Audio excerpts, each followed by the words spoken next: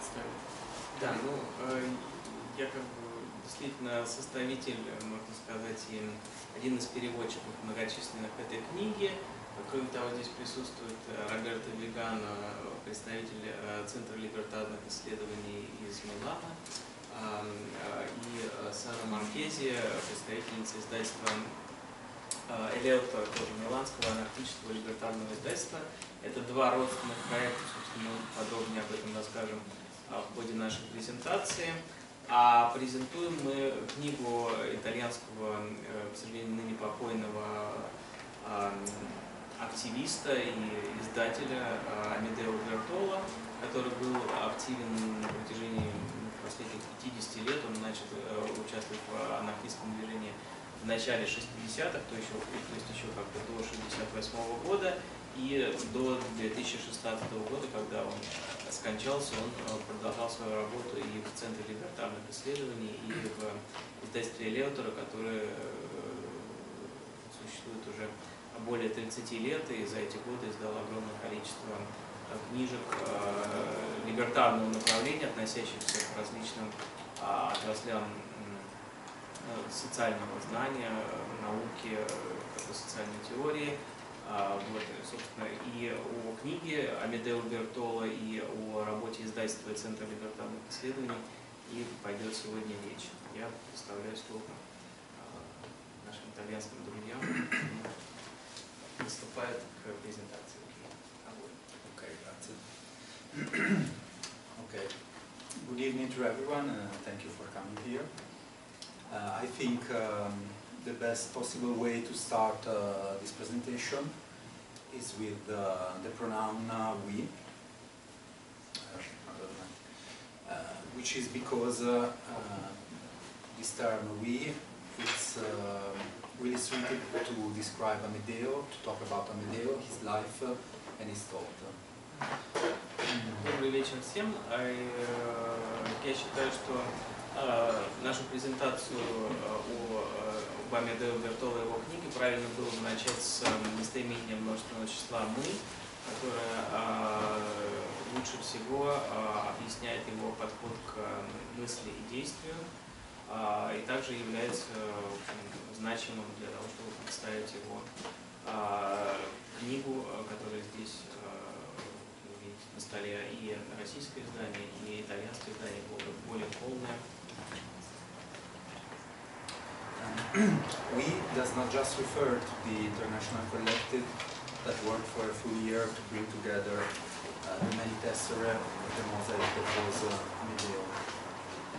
Это слово «мы», оно относится не только к большому международному коллективу, который на протяжении последнего года работал над выпуском э, сборников статей Амедео на разных языках, э, ну, представляющих кусочки мозаики, из которых составлена была жизнь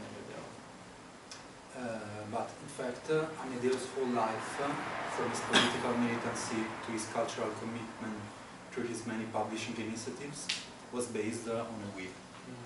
Ну, вся жизнь Амедео Бертола и ее активистская часть, и uh, его участие в различных издательских проектах, и uh, uh, его участие в um, различных э, инициативах, связанных с культурой, оно также было связано с, э, словом We can say other key concepts uh, of uh, Medeo's thought and life, which are beside this we, are thought, action, internationalism, mosaic, and shared history.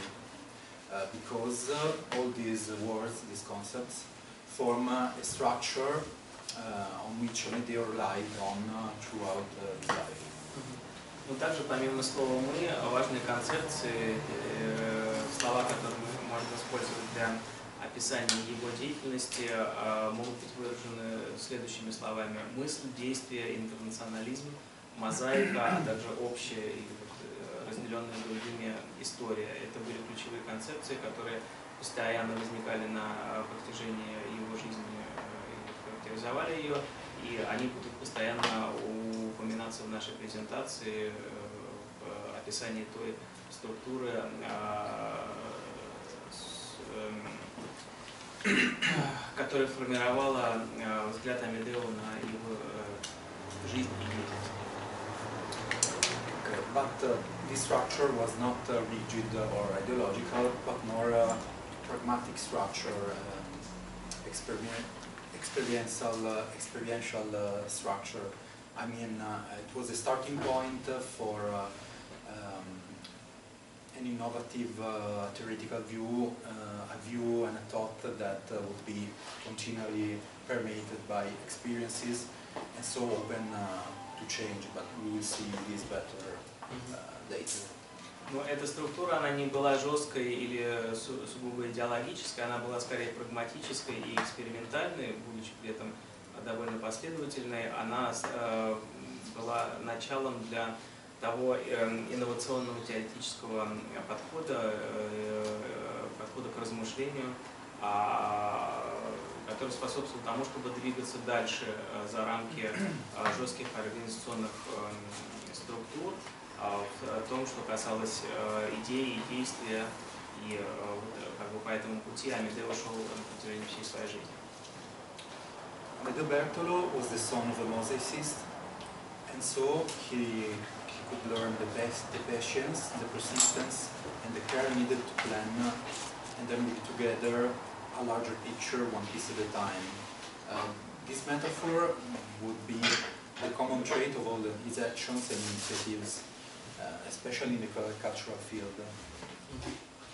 Амедео Бертоло был сыном мозаичиста, то есть художника, э, занимавшегося мозаикой, и он э, в юности э, обучался в мастерской своего отца, и таким образом он получил неоценимый опыт того, как складывать э, большую, большую мозаику из маленьких кусочков. Это был своего рода общий подход, который он практиковал в дальнейшем э, протяжении своей жизни, э, с- складывая как бы из маленьких кусочков э, какую-то большую картину. И эта метафора будет постоянно всплывать э, в наших разговорах об Амедео. Uh, another common trait of uh, his whole life uh, was to try to always um, have the thought and action to go together and um, and find uh, meaning one in another. Uh, because, for example, uh, he began uh, um, his uh, political life uh, in the early 60s when he criticized Franco's regime, which was a dictatorship in Spain where he was younger. But um, he did not only criticize the dictatorship or write about it, but he also traveled to Spain, uh, carrying out missions of political coordination and propaganda. And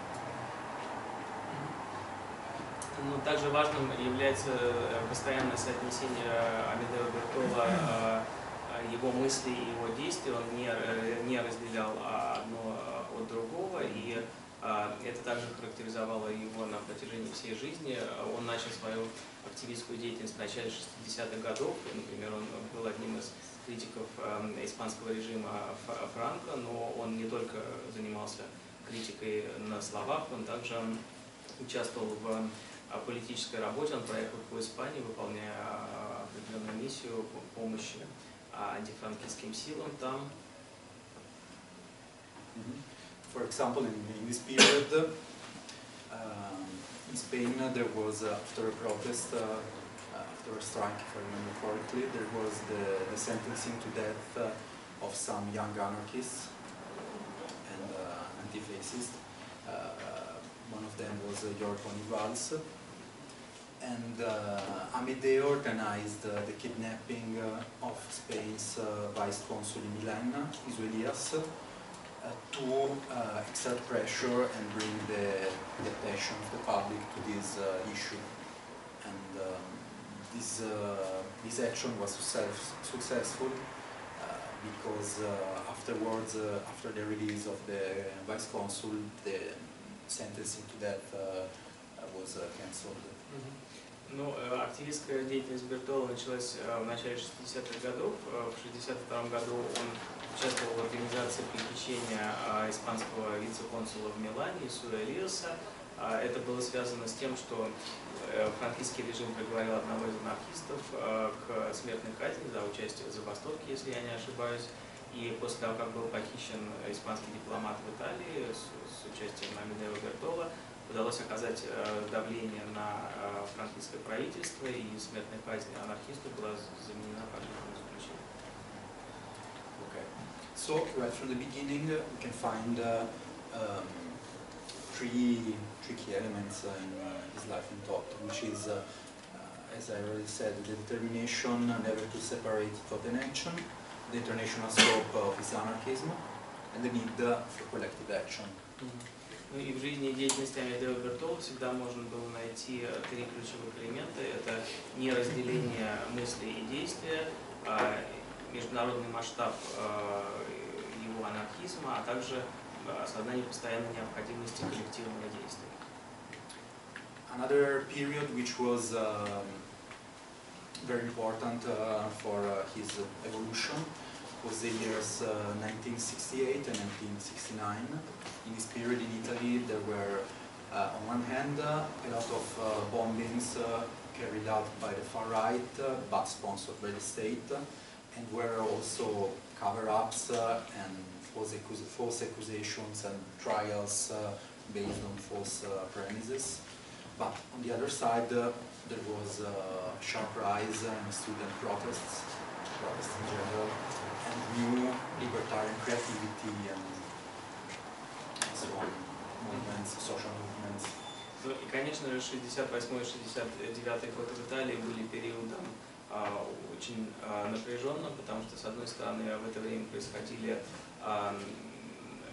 довольно многочисленные террористические акты, э, проведенные как под ложным флагом, то есть обвиняли в них анархистов, но на самом деле организаторами этих а, террористических актов были ультраправые при некотором участии государства. И то- этот же период э, характеризовался также подъемом студенческого и в целом как протестного а, движения в Италии, а также э, возникновением э, новой либертарной э, креативности, скажем так, каких-то новых форм а, либертарного протеста. Uh, for example, in this period, uh, Medeo was uh, the co-founder uh, with uh, Giuseppe Pinelli, which was was another comrade uh, from Milan, of the anarchist Black Cross, which was an organization of mutual aid between anarchists to defend from uh, repression uh, and to carry out uh, counter-information to uh, to spread the truth about uh, false accusations and so on, which is interesting uh, also because uh, actually the anarchist Red Black Cross uh, uh, was invented by Russian anarchists at the beginning of the 20th century. Но также к этому периоду относится создание в Италии и других странах анархического черного креста, в котором как бы в Италии участвовал и Амедео Бертоло, и очень важный активист этого периода, а, железнодорожника, анархиста Джузеппе Пинелли. Это была организация, ну скажем так, э, взаимной помощи, самопомощи среди анархистов в связи с э, теми обвинениями, которые э, них выдвигались в связи с репрессиями, с которыми они сталкивались. Также интересно отметить, что идея э, создания анархического черного креста на самом деле родилась в начале 20 века среди э, анархистов российского происхождения. And I, talk, I talked about Giuseppe Pinelli because uh, um, this comrade was framed for uh, one of the bombings in Milan and was, la- was later uh, killed by the police uh, by being uh, pushed out of the window of the police station, the main police station uh, of Milan. This fact um, brought up uh, an, uh, an, outrage in Italy also because uh, Amedeo and another comrades, the Black Cross, managed to carry out a campaign of counter-information and so the public opinion began to side um, more or less with the anarchists uh, and to defend them mm -hmm. it, uh, because they were accused of this bombing. Это события связаны с взрывом на пьяце Фонтана в Милане, который унес жизни многочисленных жертв. и который был приписан а- анархистам. А, а, Вот это было одним из ключевых а, событий того периода и стратегии напряженности, которую ре- реали- ре- реализовывало итальянское государство. В этих взрывах были объединены анархисты, в частности Джузеппе Пинери, вот один из создателей анархического Черного Креста. А, а, И было очень важно также организовать кампанию контринформации медийной и государственной кампании обвинений в отношении анархистов. И Амедео активно в этом участвовал. Ему а, и товарищам удалось добиться того, что все-таки общественное мнение а, в конце концов начало становиться на сторону анархистов. And it is- still in these uh, years that Amedeo identified uh, the pressing need uh, for a new theoretical paradigm, uh, so for a renovation of anarchism, um, because he thought that the struggle required then living and fighting as anarchists in the present while refusing assimilation in that very present. Uh, this means uh, he thought uh, that uh, anarchism would need an uh, across the board discourse. And um, um, this would mean uh, also not look for a decisive moment uh, like moment of revolution and so on but more look for uh, a mutation of society but just as radical, uh, as well, not less radical than Mhm. revolution, but um, another kind of approach.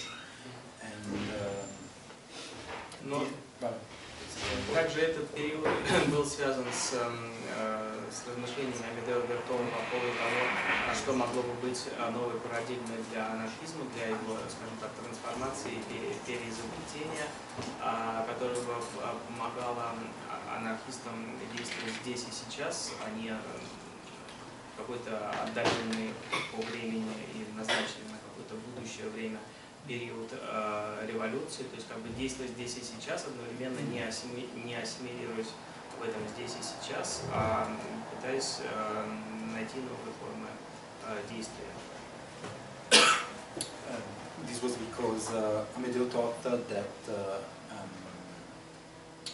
one had to redefine values and attitudes and uh, also a mutation of the subconscious because he thought that uh, the main uh, the main place uh, uh, where the state accepted its power was uh, inside the, the heads of the people and also inside the slave heads more than uh, those of the muscles. Ну, то есть необходимо было найти э, способ э, трансформации общества, который представлял бы собой некую культурную мутацию, не менее радикальную, чем как вот те э, проекты радикальной трансформации, которые существовали в прошлом, но которые были ориентированы на вот этот вот момент революции в будущем. И Амедео считал, что действительно необходима такая глубокая культурная мутация, которая по- помогла бы нам а, избавиться от э, авторитарного, э, от, от как бы авторитарного наследия, которое содержится в нашем подсознательном. И для этого была необходима, э, для этого был необходим пересмотр ценностей и э, отношений и вот как бы разложение этого иерархического э, бессознательного в нас, поскольку он считал, что государство оно находится прежде всего в головах людей и в головах рабов, угнетенных даже в большей степени, чем в головах господ. So this, uh, this meant to reach more people outside the anarchist movement. And so Amedeo also began to look uh, uh, to the main expression of the libertarian movement, uh, which is this uh, galaxy of uh, people, of ideas, uh, um, anti-authoritarian and so on, but not organized in a movement like the anarchist movement. И также в связи с этим а, Амедео считал необходимо об- обращаться к более широкому как бы, э, общественному антиавторитарному либертарному движению, а, которое не ограничивалось бы только теми, кто формально а, был вовлечен в структуры а, организованного анархического движения, но при этом как бы двигался бы или мыслил бы как раз в таком либертарном или антиавторитарном направлении. So we tried to experiment uh, in uh, writing style, in, with graphics, uh, visual communication, to reach uh, more people, to be able to communicate to more people. So it is not by chance that uh, in the same period um, there began the spread of the, the Circle Day, so the capital A in a Mhm. circle, which uh, uh, was um, actually conceived, was a symbol that was uh, conceived in Paris to represent uh, the anarchic movement, but the actual spread began in Milan when uh, Amedeo uh, and his comrades, of course, uh, decided to utilize this symbol to identify their uh, their, their anarchist group uh, in the leaflets, in their publications. And then spread uh, in Italy, Paris, in France. Ну и это как бы переоценка ценностей и методов, она заключалась в том числе и в новом стиле письма, э, попытке обратиться к более широкой аудитории и в использовании, скажем, элементов графического дизайна. Не случайно, что э, в это время а, началось распространение по миру а, нового символа, символа округи, который э, как бы, э, характеризовало вот это новое аналитическое движение. А этот символ был придуман в Париже, но и первоначально как бы, его использование было не очень удачным, и как раз его широкое распространение началось после того, как Амедео с товарищами а, использовали в э, их э, графических э, публикациях, и как бы с тех пор этот символ э, А в круге, она выглядела немножко иначе, чем та вот, как бы, панковская А, которая существует сейчас, с тех пор, когда этот символ начал распространяться по всему миру. Okay.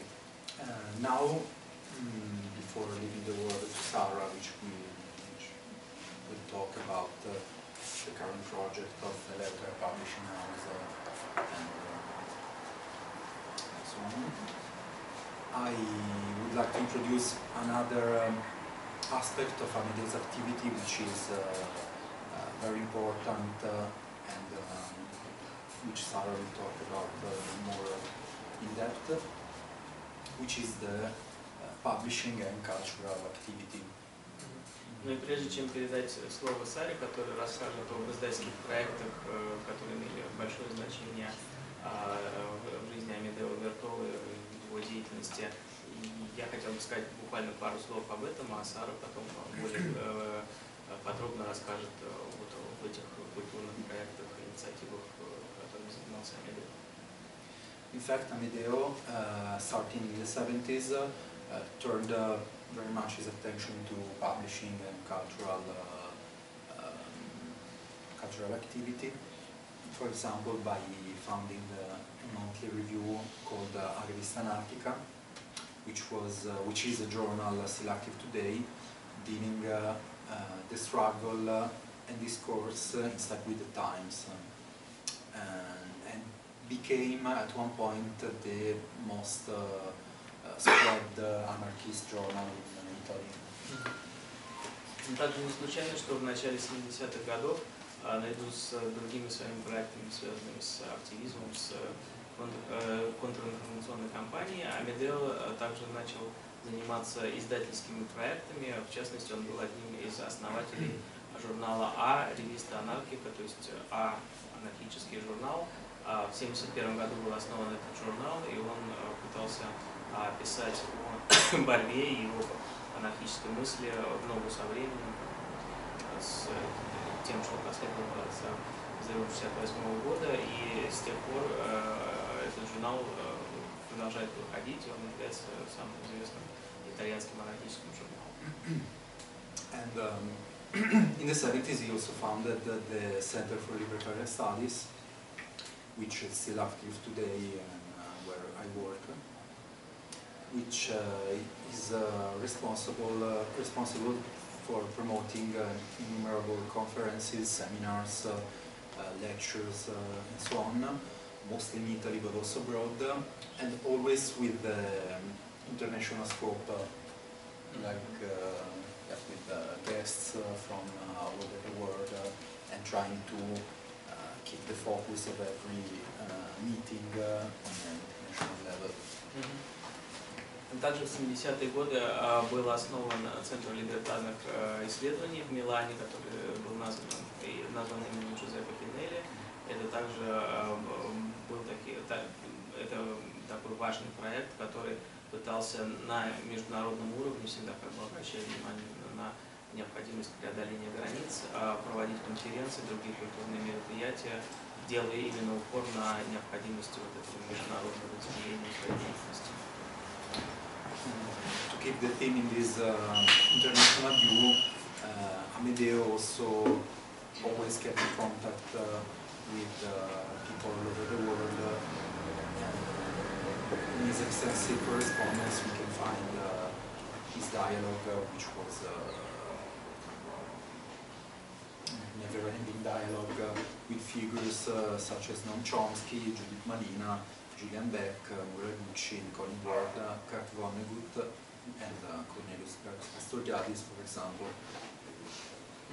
Но также э, вот в этой попытке э, поддерживать международные контакты Амедео вел обширную переписку с различными известными фигурами э, мировыми, такими как э, Наам Хомский, Джудит Малина, это основательница э, Ленин Theatre живого театра в Соединенных Штатах, Джулиан Бек, э, Мирей Букчин, известный социальный эколог, Колин Уорд, известный э, анархистский автор, английский Курт Вонегут, э, Корнелиус Кастериадис. And uh, so, thank you for bearing with me. I will now leave the word to Sarah, uh, and she will talk uh, more in detail about uh, uh, the publishing activity of uh, Amedeo, uh, the publishing house that he founded, and um what uh, In the book. it is doing today, and the book uh, itself, of course. Э, Большое спасибо за внимание. Я передаю слово своей коллеге Саре, которая расскажет как раз об издательской стороне деятельности Амедео, о том издательстве, которое э, он помог основать, и, конечно же, о книге, мы сегодня представляем. Yeah. Well, actually, I will uh, I will uh, mostly speak about what Eleuthera is now, I mean, because I, I will say for sure that uh, for Amedeo the, the editorial work was not a secondary part of his life or uh, of uh, his militant militancy, let's say. But maybe at one point of, it, of uh, his life it began uh, the most important part. Ну, я буду говорить об издательстве, об изда- об издательстве Элеутера, которое было создано при участии Амедео, но именно в том виде, в котором оно существует сейчас.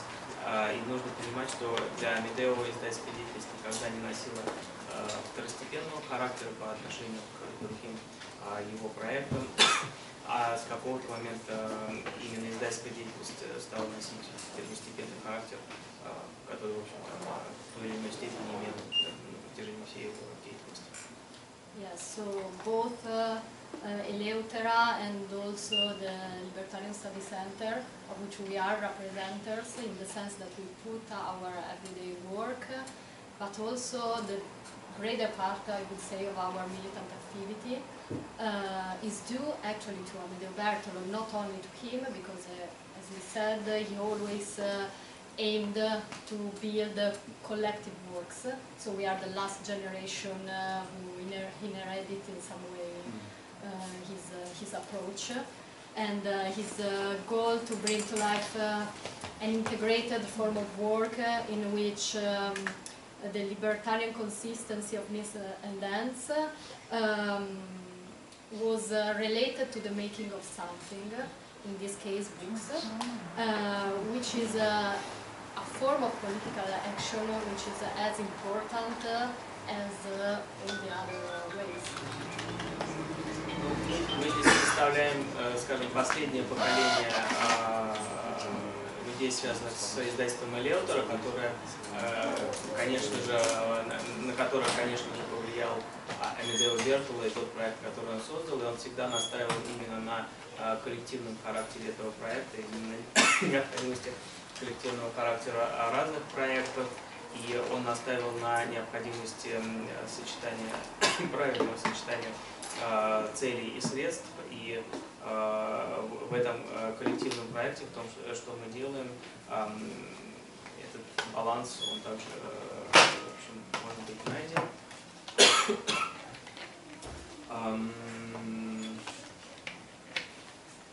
Окей, я что-то упустил, но наверстаем.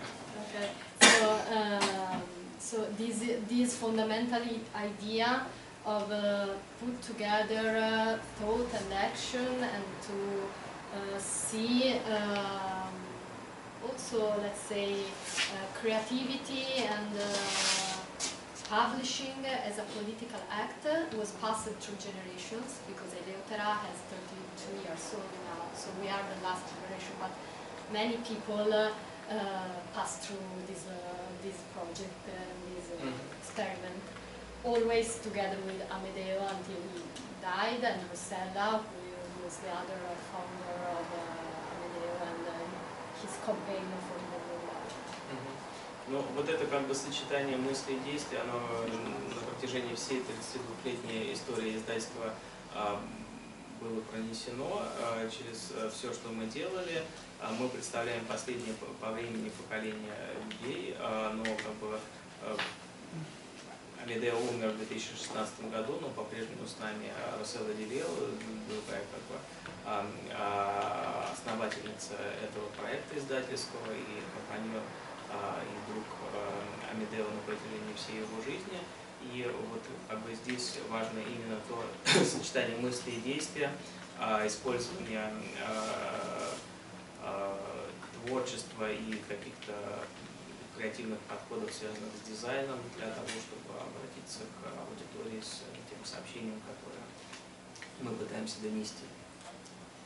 So to tell something about Eleutera, um, this project was born um, after uh, another editorial experiment, uh, which was uh, Edizioni Antistato, uh, who, which uh, Rossella Amedeo took from another, f- from Pio Turroni, another uh, anarchist, uh, uh, very famous uh, in Italy.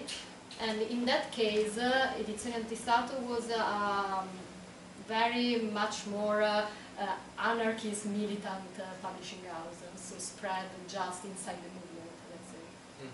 Но э, издательство Леутер родилось, скажем так, на базе предыдущего издательского проекта, который назывался Edizione Антистату, то есть можно перевести как антигосударственное издательство. Оно было основано известным анархистом Пио Турони и потом как бы Амедео Бертоло и а, скажем так, э, участвовали и унаследовали этот проект.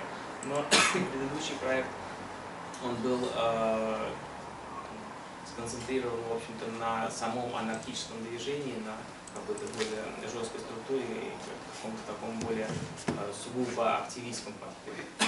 Yeah, so after uh, having taken uh, this project and having developed it uh, for a while, they decided they were they wanted to do something a little different. So they founded Eleutera, and well, just a little. Uh, yeah, the name Eleutera comes from the Greek, from the ancient Greek uh, Eleutheria, which means uh, freedom, and this is one of the meanings. Значит, ну и вот поработав э, над этим издательским проектом Edizione Антистата, э, Амедео и, и Расселло поняли, что им хотелось бы сделать что-то другое, и они основали вот это новое издательство Элеутера. Элеутера э, происходит от э, древнегреческого сло- э, слова, означающего свободу. Uh, but for us it has also another meaning and uh, this meaning comes from a legend. There were these, uh, these Englishmen, the, these uh, rebels in the ancient England uh, who took the sea to escape repression and at one point uh, they reached the, this island and they named it Eleutera and in it they founded uh, a no-hierarchical and free society. Um, Ну, для нас слово Элеутера имеет и другое значение. Мы эм, говорим о той легенде, которая существует, о том, что э, в Старой Англии э, группа людей, видимо, каких-то повстанцев, бунтарей, они э, уплыли из Англии морем, э, добрались до острова, э, который они назвали Элеутера, и основали там не иерархическую, не иерархическое общество, основанное на принципе равенства. So in this sense, uh, Amedeo and also Rossello always says that we are uh, navigating and we are navigated by side.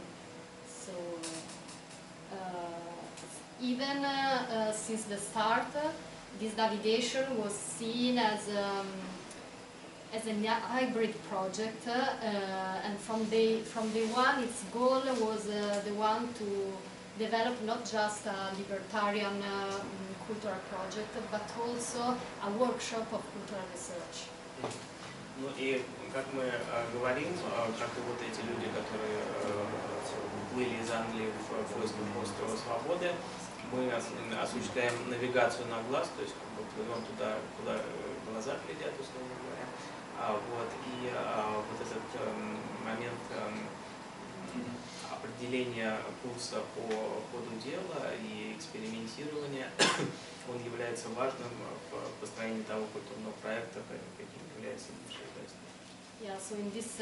we try to, to do is to provide uh, a consistent speaking platform uh, for all those thinkers in any field of knowledge uh, who aim to change reality on the base of a radical critique uh, of power and of the principle of hierarchy. Ну и э, нашим основным принципом является как раз создание такой площадки для высказывания различных авторов, э, работающих э, в различных, э, скажем так, общественных дисциплинах, э, которые э, придерживаются радикального взгляда на существующее общество и критикуют его э, с точки зрения э, отрицания власти и с точки зрения Uh, Ну, короче, критикует, э, критикует существующее общество с точки зрения радикального отрицания власти и господства. Um, so in this sense, our catalog uh, is uh, it's true that uh, it's very it's very various because we try to cover uh, different uh, topics and different fields such as anthropology, urbanism, history, science, all those fields that we think are relevant today to understand and then criticize and maybe hopefully change society. Ну, поэтому тот каталог э, книг, э, выпущенных издательством за, за этот период, является очень разнообразным. Он составлен из э, трудов, которые относятся к э, совершенно разным областям человеческого знания. Это может быть э, философия, урбанизм, антропология, э, различные, различные отрасли науки, но э, фундаментальным является как бы общий подход, это критика существующего общества и попытки преодоления его а- антиавторитарным или либертарным способом. Yeah, but on the other side, what creates uh, something that is actually coherent and unique is uh, the fil rouge of a transversal, we call it a transversal view on the world. Ну, красной нити через все это проходит именно такой эм, э, взгляд на общество, а- ориентированный на его преодоление, как бы на преодоление общества в его нынешнем виде. That's why in our catalog you can uh, you can find the fathers and mothers of anarchism and of libertarian thought, such as Bakunin, Kropotkin, uh, uh, Landauer, uh, Malatesta, Emma Goldman, and so on. Standing uh, aside with uh, more uh, contemporary modern thinkers such as Marc Auger, Scott, Marshall Salis, and so on. Ну и именно поэтому э, в нашем каталоге можно найти э, труды как отцов и матерей основателей анархизма, таких как Бакунин, Кропоткин, Ландауэр, Малатеста, Эмма Гольдман, но также и современных мыслителей, э, таких как, э, э, Латур, э, Маршал Сталинс и э, Оже э, и другие, Дэвид Грейпер. Yes. And this is also because we try to speak uh, differently from uh, uh, Edizioni Antistato, we try to speak to a larger public. Or better, our uh, main goal is not to speak to anarchists, also because they know us and we know they follow our work and they support our work, but to the general public. So, uh, in this sense, we want to speak a language which is understandable to the most uh, to the greater public possible. Ну и также, в отличие, скажем, вот от старого проекта «Эдиционный антистата», мы не, ста- не стремимся обращаться только к анархистам. Нашей целью является обращение к более широкой аудитории. Для того, чтобы делать это, необходимо говорить на языке более понятном ей, но э, мы знаем, что анархисты следят за нашей деятельностью, за теми книг- книгами, которые мы выпускаем, но наша цель – это именно обращение к более широкой аудитории. And, and that's also why we, we took this decision, which may be criticized, maybe, uh, to be inside the mainstream market. So we deal every day with uh, bureaucracy and with uh, a lot of uh, work, extra work uh, out of the cultural research and the editing uh, process and so on, because we want to be to be inside bookstores. We want to be we want people to find our book almost everywhere, and that means uh, we we need uh, to find a, um, an halfway, let's say, uh, in our uh, a compromise, yes, with the, with the system in order to to reach our main goal, which was uh, Amadeus, uh, Rosella, Mengol, and so on. Но также нашим отличием от таких вот традиционных активистских анархистских издательств является то, что мы приняли сознательное решение, которое, конечно, можно критиковать, и нас критикуют за это, а, о, том, что мы хотим присутствовать на а, мейнстримовом рынке, то есть как бы на а, широком книжном рынке, а, то есть чтобы э, читатели могли найти наши книги по возможности практически везде. Конечно, это заставляет нас э, заниматься во- вопросами, которые совершенно не связаны с творческой как стороной редакционного дела, с бюрократией, с дистрибуцией и так далее, и так далее. Но это было наше сознательное решение, это был изначально тот подход, который был заложен Амедел Вертовер и Рассель Демилевым, который мы продолжаем реализовывать.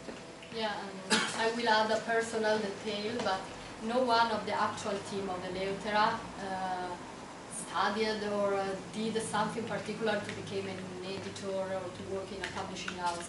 But we all come from different disciplines.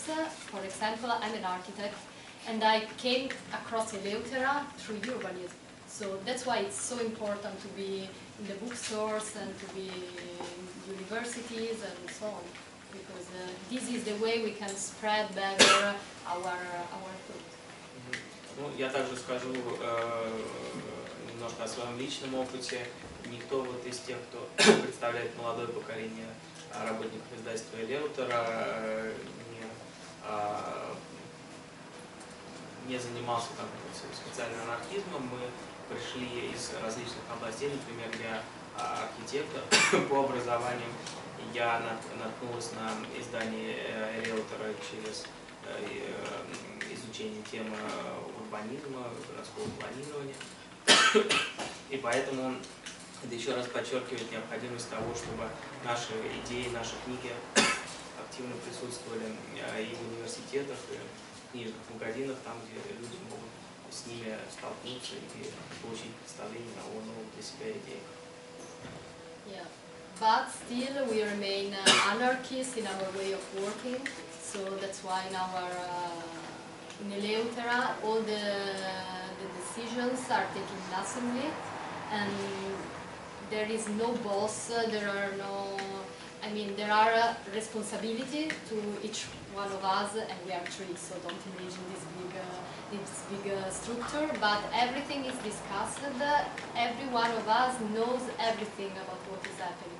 Even if I'm not responsible, for example, of the economical part, I have an idea, I discuss about uh, choices, and all that we do, we do it because we agree. Ну, также необходимо сказать, что э, мы работаем все-таки как анархисты, то есть это коллектив, в котором э, нет начальников, в котором все решения принимаются коллективно. Конечно, есть разные э, зоны ответственности, есть люди, которые отвечают за конкретные направления, но я как участник коллектива всегда примерно знаю, как обстоят дела в той или иной части. То есть я, например, не, не занимаюсь конкретно экономической стороной этого проекта, но я себе примерно всегда представляю, э, что происходит с, с- с этой частью нашей деятельности, и все решения обсуждаются и принимаются на общих собраниях. Это уже как бы необходимо черта нашего проекта. Um, another important aspect in, every, in, in our everyday work is uh, the approach. Uh, we, um, we believe that uh, also uh, beauty itself understood as uh, both ethical and aesthetic is, in, is an important part uh, of our work and that's why, for example, since uh, Amadeus uh, period, we are experimenting a lot with graphics.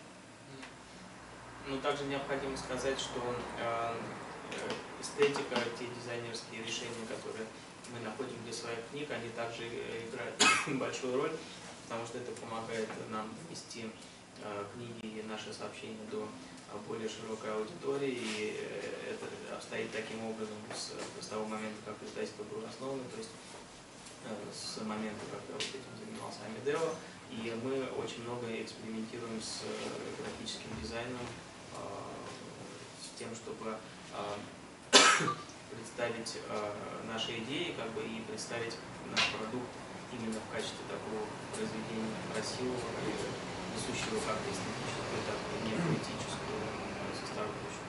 Yeah, of course, graphics, uh, in our point of view, is not uh, is not a mere uh, decoration, um, but uh, is a way to, to reach a more uh, powerful uh, communicative code.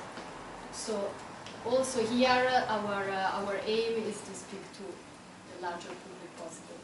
So to, for example, to, to have our books in a, in a bookstore and find a way to, to, to them to speak to people.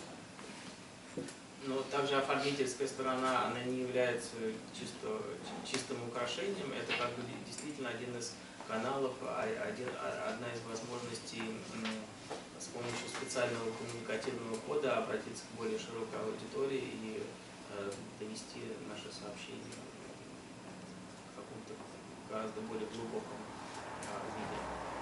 And of course, this search of, uh, of beauty uh, is play a crucial role in all the aspects of the building of our book, from the research uh, to the to the editing, uh, the layout, uh, the pagination, and covers actually all the aspects uh, of, uh, of our publishing efforts. Ну и это стремление к красоте, к к тому, чтобы создать что-то действительно прекрасное, оно, э, с- эм, оно сопровождает вот, э, все, все э, стадии издательского процесса, начиная от э, исследований, от э, работы над э, книгой, над текстом, э, до верстки, до э, графического представления обложки и так далее.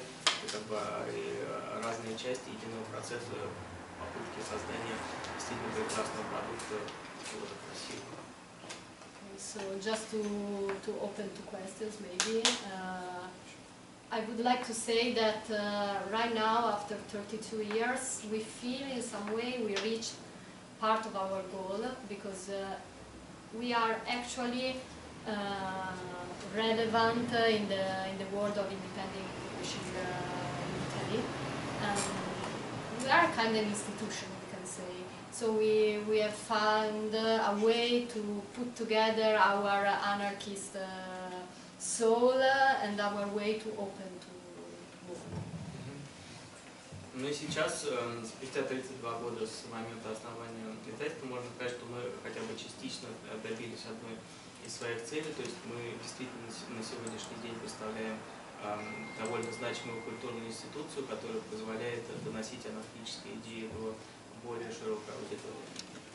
Uh, of course, it's not uh, it's not easy. Uh, we work uh, really a lot. We barely survive uh, with uh, what we earn, but still, uh, I mean, I can speak for myself, of course, but uh, I couldn't imagine to do anything different right now. So I hope uh, we will go on uh, navigating by side like this for other 32 years at least. Ну и, э, конечно, это все очень сложно, потому что э, как э, организм наше издательство по-прежнему всегда балансирует на грани выживания, но с другой стороны, я, по крайней мере, могу говорить за себя, что я не хотел заниматься ничем иным, я не представляю себя в какой-то другой роли, и, конечно, это все очень непросто, но мы будем продолжать заниматься тем, чем мы занимаемся, по крайней мере, еще на протяжении следующих 10 лет, хочется надеяться. Ну и, собственно, как вот э, э, Сара закончила свою презентацию, я буквально еще два слова скажу именно о книге и о ее э, русской версии. Вот, а потом мы можем перейти к вопросам и, возможно, к обсуждению а, как раз вот проблем э, независимых и малых издательств, как они видятся в Европе, как они видятся в России. А, Я очень рассчитываю на участие э, тех, кто сидит в аудитории, то забудем о том, что здесь стол и президиум, э, мы можем просто а, в манере открытой дискуссии поговорить об этом. Значит, а, собственно, вот русская версия книги, она, конечно, не такая объемная, как итальянская. Э, Надо сказать, что здесь уже упоминалось, что сборник статей Амедео Бертоло а, написано в разные годы, э, там, 70-е, 80-е, 90-е, в начале 2000-х. Он а, примерно одновременно вот на протяжении последнего года а, вышел в разных странах, то есть самое полное издание, конечно, итальянское, вышли также французское, португальское, испанское издание. А, Мы а, в авральном режиме тоже а, очень старались выпустить а, российское издание. Оно, конечно, не такое объемное, как итальянское, но мы постарались а, те а, самые крупные и а, значимые статьи Амедео Бертола, которые он написал, перевести. А, Тематика различная. Здесь статьи о таких основополагающих для анархистов э, ценностях, как свобода, например, э, как понимается анархическая свобода, э, как понимается свобода вообще в целом э, в современном мире, можно ли найти какую-то э, площадку, на которой анархисты и неанархисты могли бы э, вести э, осмысленные и продуктивные дискуссии о свободе, о том, как продвигаться э, в направлении больше свободы. А, э, Одна из статей сборника посвящена демократии, как ее понимает анархист, как она понимается другими, и, возможно, какие-то пересечения. Как раз вот одним из фокусов деятельности Амедео было а, обращение к неанархической аудитории, попытки э, сделать наши анархические идеи релевантными также для других людей, как бы, чтобы анархизм не был а, такой как бы церковью и крепостью, чем-то замкнутым в себе. И мне кажется, вот представленные статьи в этом сборнике, они как раз характеризуют эту попытку как довольно успешную. Там есть статьи, например, проясняющие понятия, которые долгое время оставались э, ну, такими размытыми, то есть как бы а, в чем разница между властью, скажем, господством и авторитетом. Понятно, что анархисты строят эм, свою философию на отрицании э, господства, скажем, э, таких э, перманентных э, асимметричных отношений э, по поводу власти, но как бы возможно ли уничтожение власти в целом или как бы все-таки власть как отправление неких э, общественных функций может быть сохранена на определенных условиях, при том, что э, будут действительно вот, э, уничтожены э, отношения перманентно асимметричные, будет уничтожено господство и принуждение, как вот этот вопрос тоже рассматривается. Здесь есть вот э, ряд статей, таких более объемных, есть э, статьи журнальные, которые были написаны Амедео, э, скажем, в 70-е, 80-е, 90-е годы по разным поводам. Э, Часть из них касается там, знаю, вопроса об отношении анархистов к насилию, и здесь он вступает в дискуссию с другим, э, в общем, таким уже примелькавшимся итальянским автором, как Альфредо Банана. И надо сказать, что Амедео Бертоло является таким, скажем, антиподом банана как по вопросу отношения к насилию, так в общем, как по вопросам другим, скажем, этики личной скромности. Они вполне как такие антиподы между собой. Э, Как вообще воспринимать анархическое движение? Должны ли мы воспринимать анархическое движение как сугубо вот собрание профессиональных активистов, или мы все-таки должны э, смотреть э, широко, э, не ограничиваясь рамками вот этого активистского гетто. э, какие элементы современной культуры движутся в либертарном направлении, с, ке- с кем и с, с чем в культуре мы могли бы а, сотрудничать э, в продвижении общества в сторону большей свободы. На самом деле все эти статьи Амедео Бертола, они отличаются, с одной стороны, некоторой такой ясностью взгляда, попыткой прояснить э, э, понятия, которые, возможно, раньше оставались размытыми. С другой стороны, они являются как раз такими попытками еретика выйти за пре- пределы э, устоявшихся представлений, э, существующих в анархизме, выйти за пределы гетто. И мне кажется, это, в общем, довольно интересное, увлекательное и полезное чтение. Вот. э, Давайте, может быть, мы тогда э, пе- перейдем к вопросам и дискуссии. Кто-то? Спасибо. Меня зовут Олег, я занимаюсь издательством. А, Небольшое издательство. И, собственно, вопрос, а, сколько вас работает а, в Леутера и какая у вас ваша аудитория, на которую вы можете рассчитывать?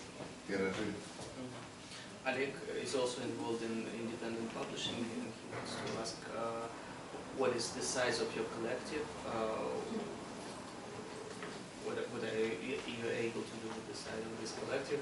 How wide is your audience and what are you able, how many people are you able to Brainstorm. reach? Yeah, yeah. What's your Yeah. What- Okay, so uh, Collective. the collective. no, well, actually working uh, daily in Eleutera, there are three people. So that's Rossella, uh, one of the founder, that's me, and uh, my colleague. Then there is a fourth person who is not there every day, but still does a relevant part uh, because he does all the imaginations and also helps with the well, with communication and so on. Uh, well, we, we published 12, uh, there, there, are also, there is also a net of uh, yes, collaborators. Uh, okay, So sorry. this is, uh, this is the team who works, let's say, daily in the office, but especially since uh, Amadeo's death, uh, because Amedeo was a great, great uh, reader, a big critic uh, of uh, everything that uh, used to arrive uh, to our desk.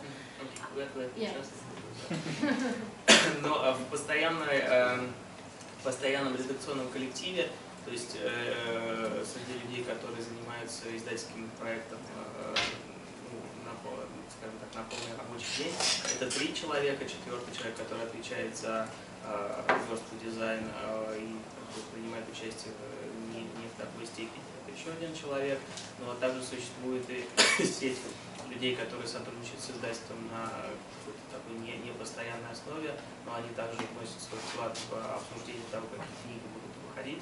Но вот с момента эм, э, смерти Амедео в 2016 году, конечно, тяжелее, потому что он, с одной стороны, был э, большим читателем, то есть он читал большое количество литературы, и также он э, критически подходил к, к прочитанному и к тому, что может быть отобрано для вот, публикации в рамках издательского проекта. Но как бы, э, помимо как бы, этого небольшого коллектива существует еще сеть людей, которые тоже участвуют в э, выборе книг э, своими советами, своими экспертами.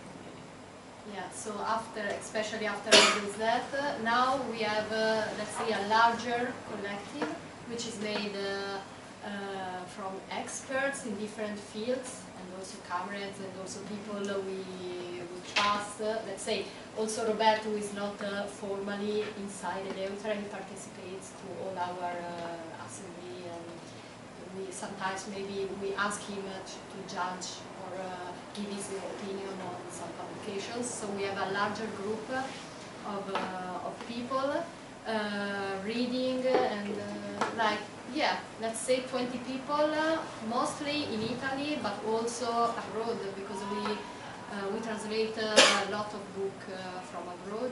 So um, there are people who during the year uh, follow the transformations, the development, what is interesting uh, in their field, and they suggest us uh, publications. Or, on the contrary, maybe we ask for suggestions. Maybe we find a book we think it could be interesting, and we gave uh, we give uh, it to them to judge if it is formally correct and. Ну, то есть вот помимо этого небольшого коллектива людей, которые на постоянной основе занимаются издательской деятельностью, существует более широкий коллектив. Например, Роберто представляет э, Центр либертарных исследований, он формально не входит в редакцию Леутера, но он один из тех экспертов, мнению которых мы доверяем. Э, Мы можем как бы, спрашивать их мнение по поводу того, что публиковать, или наоборот предлагать им книги для какой-то критической рецензии и принятия решений по поводу того, что публиковать. И вот это как бы сеть наших экспертов, э, не только в Италии, но и в других странах, э, занимающихся э, различными областями, ну, специализирующимися в различных областях. Это коллектив из примерно 20 человек. И поскольку мы публикуем также большое количество переводных книг, то мы следим за тем, что происходит в других странах. То у нас есть как бы наши партнеры, эксперты в других странах, которые э, тоже что-то предлагают нам э, из того, что выходит э, за рубежом. Yeah, just, so just for example, when we published a book about uh, uh, dissident women in Russian Revolution, of course we asked uh, to Misha because it was uh, it was the, the Not that main. I'm an expert.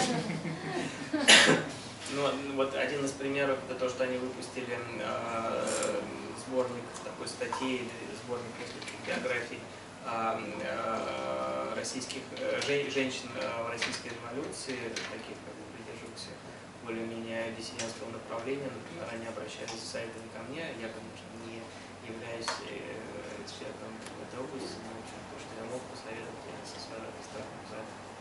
Uh, so concerning the print run, let's say uh, we published uh, we publish uh, 12 uh, new books per year, plus reprinting of uh, all the title of our catalog because our catalog is very uh, long-lasting. Every book we, we choose, we choose it, we choose it uh, because we thought it would be in some way interesting also after 10 years, and this is so for uh, the biggest part of our books. So sometimes we found uh, we find ourselves to republish a book which was uh, published in 1995 maybe.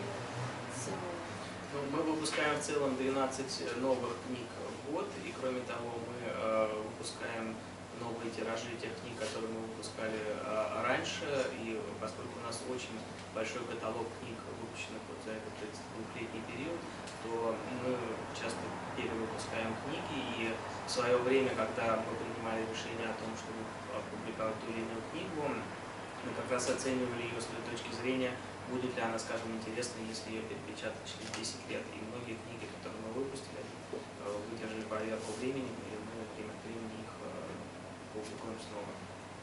And yeah, as for the print run, let's say in Italy we stay in a middle uh, range, which means from 1,000, maybe 800, but let's say 1,000 until 2,000. With some exceptions because we have uh, some bestsellers, uh, so maybe we, we print 3,000 copies, but yeah, our range is between uh, one- 1,000 and 2,000, let's say, for the first print run, of course. Да, ну и э, что касается тиражей, то мы находимся в такой средней категории, то есть мы выпускаем книги тиражами в целом от одной до двух тысяч э, экземпляров, это первый, первый тираж каждой книги. Иногда случается, что книга становится э, относительно бестселлером, мы можем выпустить, скажем, три тысячи книг, ну и мы время, время от времени выпускаем новый тираж тех книг, которые мы выпускали раньше. Yeah, and this is also an economical matter uh, in the sense that sometimes we would like to print a little bit more because uh, we know that the title will sell uh, and we would like to do a little more to be covered, but unfortunately it's too expensive for us. So sometimes we find ourselves like done, uh, we, we finished the book and now we have to reprint it. So some, sometimes we have gaps uh, between uh, with uh, with uh, some titles, but yeah, usually it's it's okay like this. Ну и как бы вопрос о тиражах, он, конечно, экономический, мы не можем выпускать э, слишком большие тиражи, но в то же время, э, мы знаем, что книги есть определенный потенциал, что она будет продаваться, мы, конечно, пытаемся выпустить чуть больше, но это все-таки не гарантирует нас от того, что иногда возникают какие-то а, провисания, то есть на какой-то момент мы остаемся без тиража той книги, когда не много печатания. Yeah, I would uh, add also that uh, it's also a bureaucratical matter because uh, since we are in the mainstream market, we pay for a distribution with uh, like a third part uh, between us and the bookstores. So uh, we send the, when we present a new title, the main distribution asks us for order us an expected number of books that they think they will uh, sell. But since everything is almost automatic for them, especially when they deal with a small independent publishing house, they do like very, very small orders, so they pay for very few books, and we don't have the money to, to print, to print a major print run. And then maybe after one month they order uh, three times the quantity they ordered the first time, and we have to pay, of course. So it's Ну, это также вот тиражи книг являются также большой бюрократической проблемой, потому что между нами, как издателями и книжными магазинами, есть посредник в лице дистрибуции, э, э, компания, которая занимается дистрибуцией, и мы должны платить за дистрибуцию, и в то же время они, скажем, э, могут заказывать сначала небольшое количество книг, мы их предоставляем, но как бы после определенного периода времени может выясниться, что как бы эти книги быстро уходят, и нам нужно, и они заказывают, скажем, в три раза больше, чем заказали сначала, и нам надо решать проблему печати дополнительных тиражей. Uh, Ah, yeah, uh, regarding the audience, well, let's say I can't really give a number, but I can say we, we have a kind of large public in Italy, uh, and we see, we, we have a, very aficionated public who really follow us, every new books, they maybe, they also write to us to know when it will be out, or uh, they come to fairs all over Italy. I, I, I meet the same people, the same readers coming to each fair to, to talk with us because it's the only moment in which they can uh, they can actually speak with the editor. So there is this part, but there is the larger public uh, that buys uh, in the big bookstores, and this is uh, uncountable for us. But sì, le versioni yeah, and also we have the uh, text uh, Text. which are uh, used in uh, university courses. So yeah, so a teacher uh, suggests or obligates his students, students to buy books and yes, especially anthropology, science, philosophy, they are adopted. So, Ну, по поводу размера а, нашей аудитории сложно как бы сделать какие-то количественные оценки, но а, у нас есть а, определенный круг читателей, таких афиссионадов, поклонников, которые следят за всем, что мы выпускаем, э, покупают все книжки, заранее пишут, когда у вас эта книжка. А Мы проводим э, книжные, я- мы участвуем в книжных ярмарках э, в различных частях страны, и мы видим, что одни и те же люди специально приезжают на книжные ярмарки в разных городах, просто чтобы пообщаться с нами. И а, кроме того, существует, например, э, существует, например, э, некоторое количество э, литературы, которая выпускается, в частности, э, на, с расчетом на университетскую аудиторию, потому что те или иные преподаватели говорят о том, что, такие-то, такие-то книги э, по а, антропологии, э, урбанизму, там, э, э, различным отраслям научного знания, философии, они являются обязательными для студентов, берущих тот или иной курс, и как бы они фактически обязывают студентов покупать все книжки наши и читать. Ну, То есть вот есть э, э, различные а аудитории. С другой стороны, есть люди, которые покупают наши книги в э, больших книжных магазинах, и э, кто они такие, как, э, почему они покупают наши книжки нам уже сложно отследить. У меня был один бюджетный вопрос, ребята. 68 год, 50 лет. Да? 68 год, э, он, с одной стороны, глобальный, с другой стороны, в каждой стране он разный. Восточная Европа, французский, парижский, 68-й, другой, там, американский, третий. Каков был итальянский 68-й, является ли эта дата для Италии? И была ли публикация у коллег? Okay, uh, also an editorial question about 1968 and the uh, current uh, 50th anniversary of 1968. Of course, 68 was different in different parts of the world. It was one France, one for the United States, one for Eastern Europe. What was the, mm, uh, the 1968 for Italy? Is it emblematic and uh, did you publish anything about this?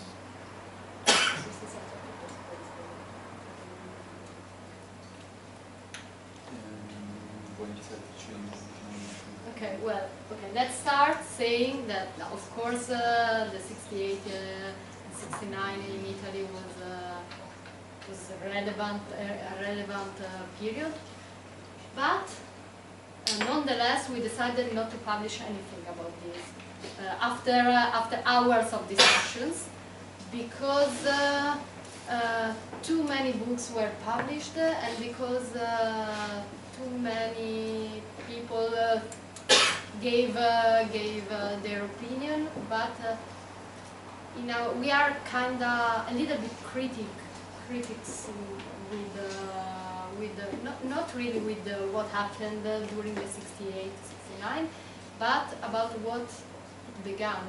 So what we we, we have now of this uh, this period after this great uh, uh, changement in society which was real now we find uh, ourselves in a bigger crisis, crisis maybe, because this young, young people right now uh, hasn't inherited uh, anything about, almost anything about uh, what their parents and, and fight for.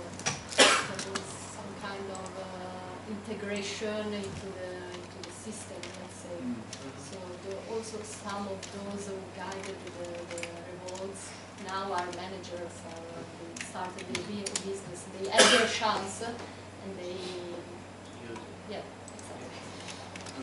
Э, Значит, э, действительно, 68 и 69 год были очень важным периодом в истории Италии, но тем не менее, а, понимая это, мы все-таки после многочасовых дискуссий, посвященных тому, выпускать ли что-то по, по поводу 50-летия 68 года, решили, что мы ничего выпускать не будем. Отчасти это было связано с нашим критическим отношением к не, не столько как бы, к тем событиям, которые произошли, сколько к тому, что произошло потом. То есть мы э, понимаем, что э, это действительно было очень значимое событие, которое очень много изменило, вот, но в то же время мы понимаем, что э, вот люди, которые, условно говоря, принадлежали к участникам этих событий, а многие из них интегрировали систему, использовали свой шанс. А та молодежь, которая, э, ну, те молодые люди, которые живут сейчас, они при этом практически ничего не унаследовали от наследия этого 68 года и от того, за что боролись, а, условно говоря, их родители. Поэтому, в общем, как бы это одна из причин, почему мы решили ни- ничего не выпускать на эту тему. И в то же время было очень много книг, э, выпущенных другими издательствами, посвященных just to add that the risk uh, in, in publishing something about 68 for us uh, was uh, to idealize, to in, s- in some way to idealize too much that period and to demonize uh, the present. And yeah, to citate uh, Amedeo Bertolo, it's better to leave pessimism uh, for better times. So better maybe to Ну, а- один из рисков, который мы видели а, вот в выпуске чего-нибудь по поводу 68 года, как раз заключается в том, что мы боялись слишком идеализировать 68 год и слишком демонизировать то, что мы имеем сейчас. И, как бы говоря словами Амедео Бертола, мы все-таки предпочитаем оставить пессимизм для, для лучших времен. Yes, it was about uh, 68 and 69 in Italy. Um, it's quite difficult to summarize, also because, for example, in France, uh, 68 has been one month, uh, May, but in Italy it was a long period uh, which, uh, yeah, spanned at least all the, of the uh, 68, 69 and also 1970. And then uh, there were other uh, moments uh, thereafter. Um, Но надо понимать еще, что в Италии 68 был немножко другой, чем, скажем, во Франции, потому что во Франции 68 год пришел один месяц май, вот, в то время как в Италии э, были события, которые э, происходили в 68-м, 69-м, отчасти 70-м году, и за ними последовали другие события, как бы не, не, не менее важные, но как бы уже другие, поэтому 68 год в Италии был немножко другим. Uh, let's say that 68 in Italy mm, exploded, uh, not for the bombings, but uh, because uh, no one uh, could expect uh, these rising protests, actual social movements, and so on. And at the time, uh, there were there were very few anarchists in Italy, and they were all, uh, let's say, old school uh, Mm. anarchists. Uh, because um, in the way of uh, yeah in the way of thinking um, classical anarchism but also in the way of uh, their, their their way of life uh, they they dressed uh, in typical Italian uh, style for the time uh, they did uh, political activity but uh, while in 68 uh, there's been uh, uh, all of a sudden uh, a rise of uh, uh, a change, yes, counterculture, a change in dressing style, in way of living, like demonstrating um, affection to other people in public, which was taboo at the time. Some other stuff like this. Uh, mm, if you want to, yeah. Но надо понимать, что как бы э, в Италии 68 год э, еще был э, другим по отношению, скажем, ко Франции. А к Франции, потому что, э, во-первых, э, был совершенно как бы не- неожиданный всплеск активности социальной, то есть социальных протестов, но в то же время число анархистов было невелико, они в основном принадлежали к таким как бы old school э, типам э, анархического движения, то есть классический анархизм, они одевались в традиционную одежду, они, в общем, вели какую-то такую довольно э, традиционную активистскую работу, в то время как э, параллельно с этим происходил э, взрыв контркультуры, менялись как бы вот меня, менялось как бы сознание, менялся образ жизни, меняли, менялись даже как бы такие повседневные социальные интеракции по поводу того, как, как выражать свои чувства по отношению к другому человеку на публике, все это менялось, но как бы движение оставалось анархистским, при этом старым.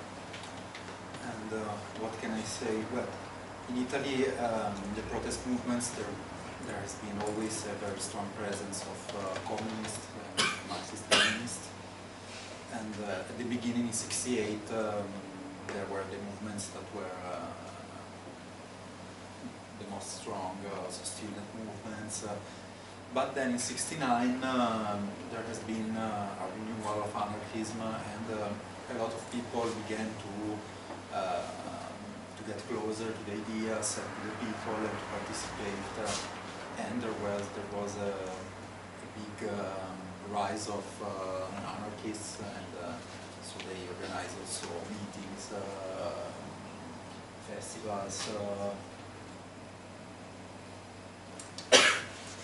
Надо еще понимать, что в Италии э, были очень сильные позиции традиционных коммунистов и вот марксистов-ленинистов. Это касается и общего как бы, политического движения, и рабочего движения. И это как раз было характерно и для 68 года, но уже начиная с 69 года численно начало расти а, анархистское движение, оно начало меняться, э, начали происходить изменения в том, как какими способами действовали люди. Э, проводились ра- различные мероприятия, фестивали и так далее. То есть как ситуация начала меняться скорее э, начиная с 69 года. Anyway, it, uh, it has been a big, uh, a big rise of protest against uh, the government, against the social taboos, uh, and so on. I don't know if you want to know something specific, specific uh, please ask. Um, but to say it was perceived uh, as uh, 68 and 69 movements were uh,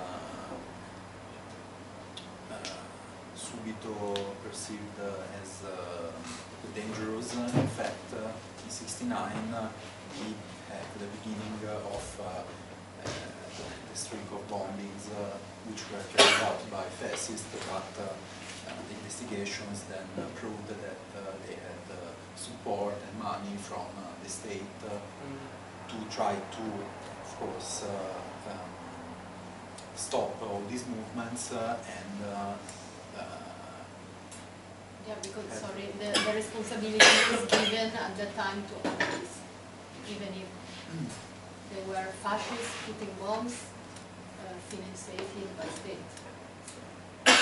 and uh, to to put uh, to put in place uh, in Italy mostly.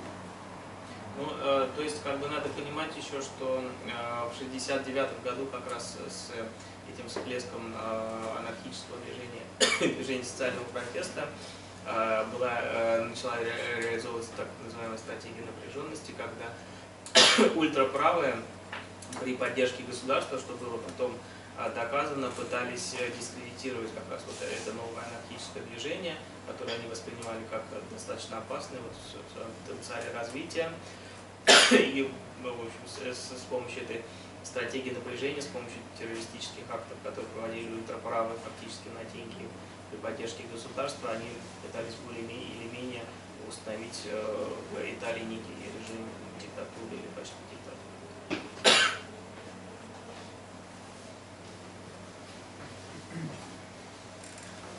Еще вопросы, может быть, э, мы уже можем плавно перейти к э, обсуждению проблем независимых и малых издательств, как они видятся с, с российской стороны.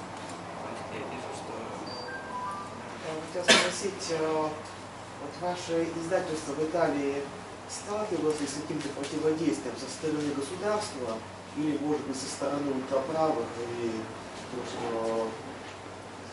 ну, с- со стороны просто правых, может быть, э, какие-то магазины отказывались там брать книги из идейных соображений, что-нибудь такое. in Italy, over the course of history of did you ever face um, um, pressure or resistance from uh, on, on the part of the state or the extreme right or the right? So maybe the bookstores refused to take the books. or In our uh, experience, in, in, in, in a Leopard. Well, let's say um, we have to divide uh, the kind of bookstores in which we sell our books. We have the mainstream ones, uh, which are not directly related to us, so they can uh, basically choose what they order. So if they don't want our books, uh, there are uh, big bookstores that don't order a letter book. They don't. Uh, we don't. We can't do anything, but we are not not even interested in it. But for example, we also are on Amazon. Even if our readers they don't buy, we, we are not uh, that sold on Amazon because our reader prefer still prefer to go to the to the bookstores. Um, so we don't really have uh, control on, on, on this. Uh, we also have uh, a number of uh, bookstores with, with which we directly have relationships and in, relationship and in this case we choose which bookstore we want to, to include in our network and which not. So no, actually we didn't uh, we didn't have any experience of uh. But uh, as for state continuo. repression and okay, Ah. vuoi tradurre ну, в том, что касается э, магазинов, то, с одной стороны, существуют мейнстримовые магазины, крупные магазины. Конечно, часть из них э, отказывается от наших книжек, просто они могут выбирать, что заказывать, что не заказывать. Часть из них, э, в общем, более-менее принципиально не заказывают наши книжки. Кроме этого, существуют, например, независимые магазины, с которыми мы уже общаемся и взаимодействуем на, напрямую и выстраиваем отношения, как бы есть сеть магазинов, которые мы считаем, условно говоря, своими партнерами, которые мы включаем в свою сеть распространения. But as for pressure from the state or Yeah, the yeah, Yeah, we have to say that uh, in Italy, um, the cultural activity, so also books uh, relating to anarchism, but since there are books, so the circulation of ideas is not uh, particularly compromised uh, or repressed by the state. It's different if you act and, and do something uh, uh, because uh, even uh, maybe for a small action uh, you could face uh, a lot of uh, charges from the police uh, and you could go to jail and so on, of course. Uh, but uh, in the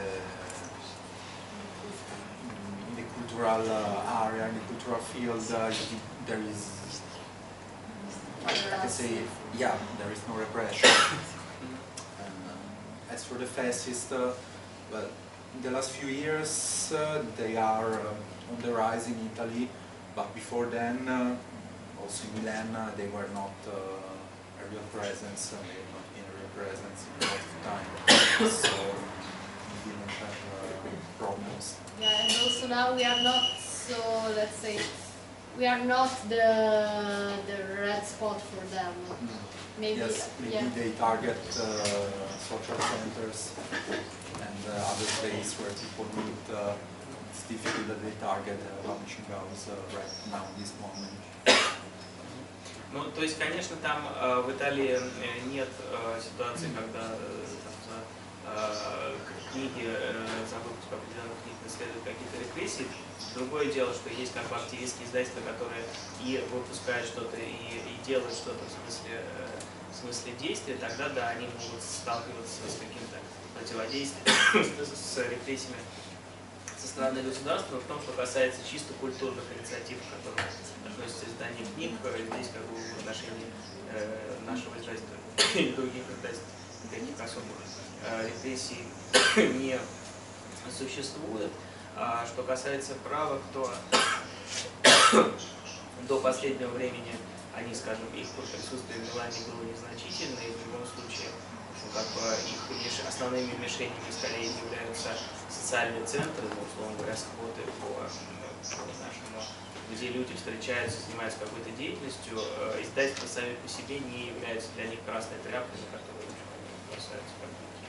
Вот, но в последние годы э, ощущается рост э, присутствия влияния ультраправых.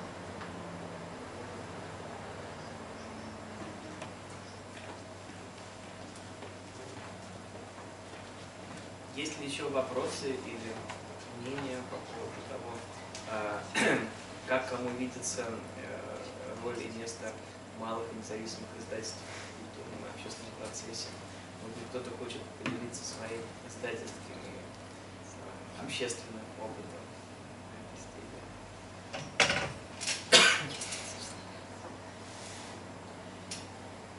Вы не могли бы рассказать о себе, о? А, ну, ну, я могу, да. э, В общем, собственно, издательство «Черный квадрат» э, является самым провозглашенным. То есть у нас, конечно, красивая обложка. Мы старались надо поработать над редактурой. Это честь, это честь картины Малевича.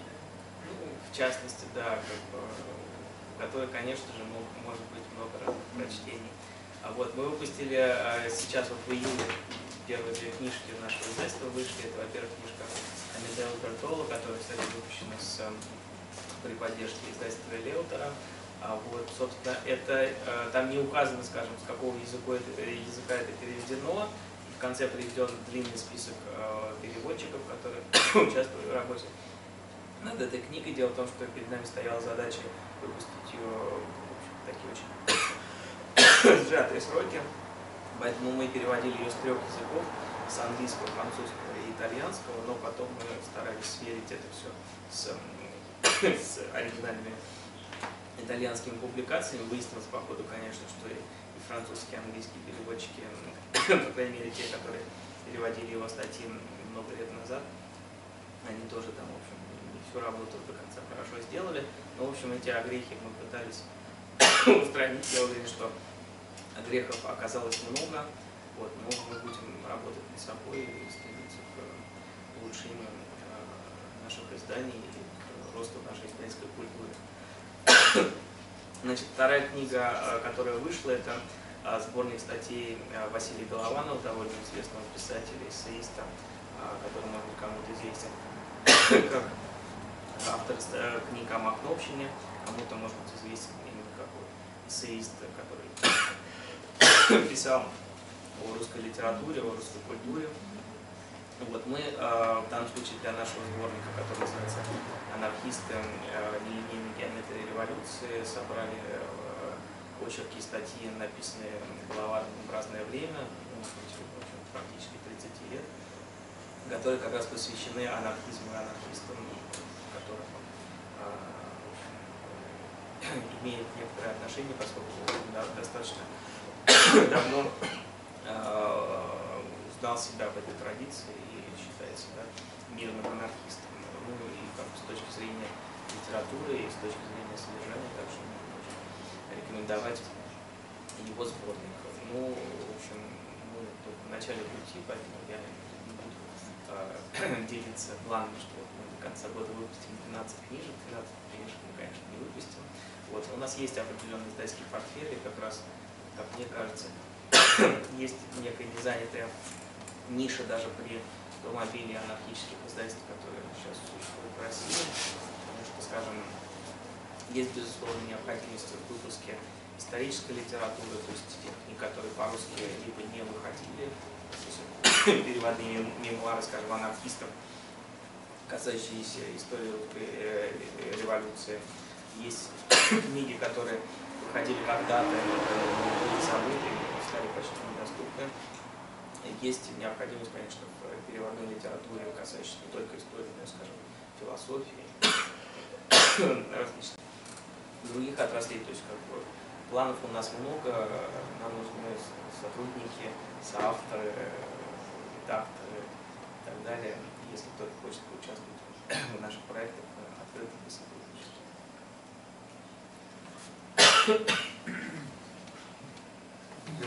Я могу сказать немножко о себе. А, Зачем? Прости. А можно вопрос один? а, Я не знаю, какая, какая, часть дискуссии сейчас? Ну, давайте сначала, может быть, закончим с вопросами, а потом тогда Олег э, расскажет о своем опыте. Вы могли бы назвать самый неочевидный или спорный текст или не вписывающийся в ваш издательский ландшафт, который вы издали? Это лишь не буква.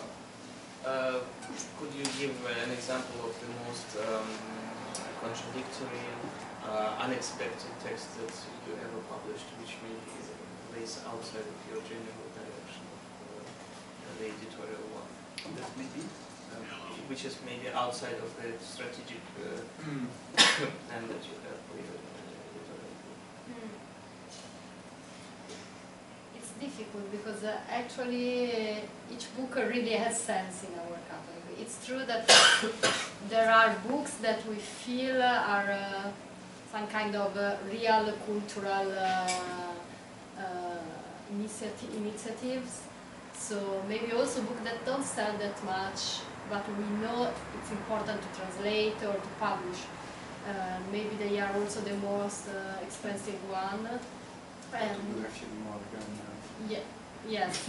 And then uh, there are uh, there are kind of books that you that you do because uh, some way you have to sell uh, and you have to survive. So maybe you choose uh, some uh, authors that you still respect and they have this critical view, this uh, but you don't really feel uh, so so close. Uh, so there is this big example. Uh, Значит, ну, э, сложно назвать какие-то сильно выбивающиеся из нашего общего направления книги, потому что а, по, по- по поводу каждого, а, ка- ка- каждой книги, которую мы издаем, мы, во-первых, очень долго ее выбираем и обсуждаем. А с другой стороны, как бы те книги, которые мы выбираем, с нашей точки зрения, они имеют э, определенный смысл именно в нашей как бы, общей издательской стратегии. А, Конечно, мы выпускаем книжки, которые, скажем, э, может быть, не будут очень э, широко продаваться, но мы считаем, что необходимо их, там, скажем, перевести и издать по-итальянски, потому что считаем это своим долгом. С другой стороны, конечно, есть другие книжки, которые мы вынуждены выпускать как издатели, просто для того, чтобы заработать на хлеб, окупить э, свою, э, свою издательскую деятельность. А, Это, безусловно, авторы, которых мы в целом уважаем, но, может быть, к которым мы относимся несколько критически и несколько отстраненно, но, по крайней мере, как бы, их книжки могут продаваться в большем количестве экземпляров, что позволяет нам выживать. Yeah, for example,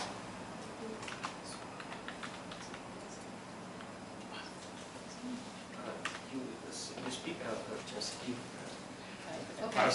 So I can uh, I can give two different examples. So uh, in our catalogs uh, we have. Uh, are you sure I have to talk? yes. Okay.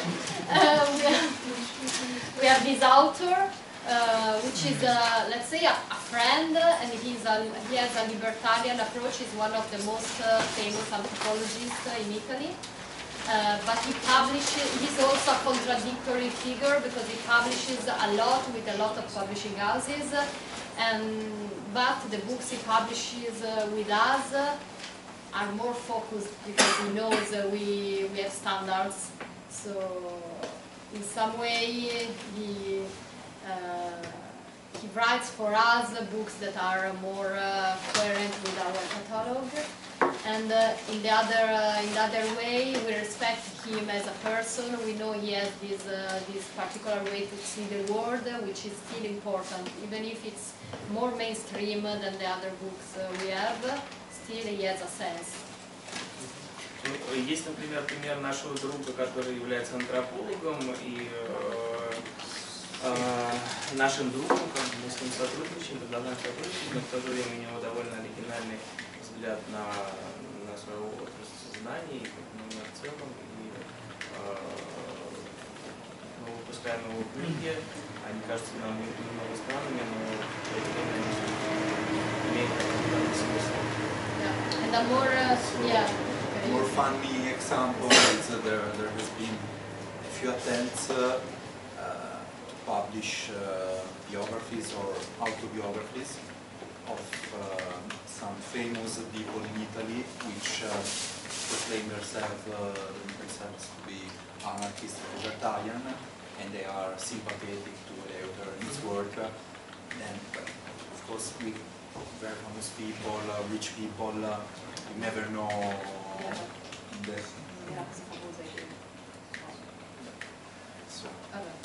you never know in practice uh, how much they are uh, libertarian.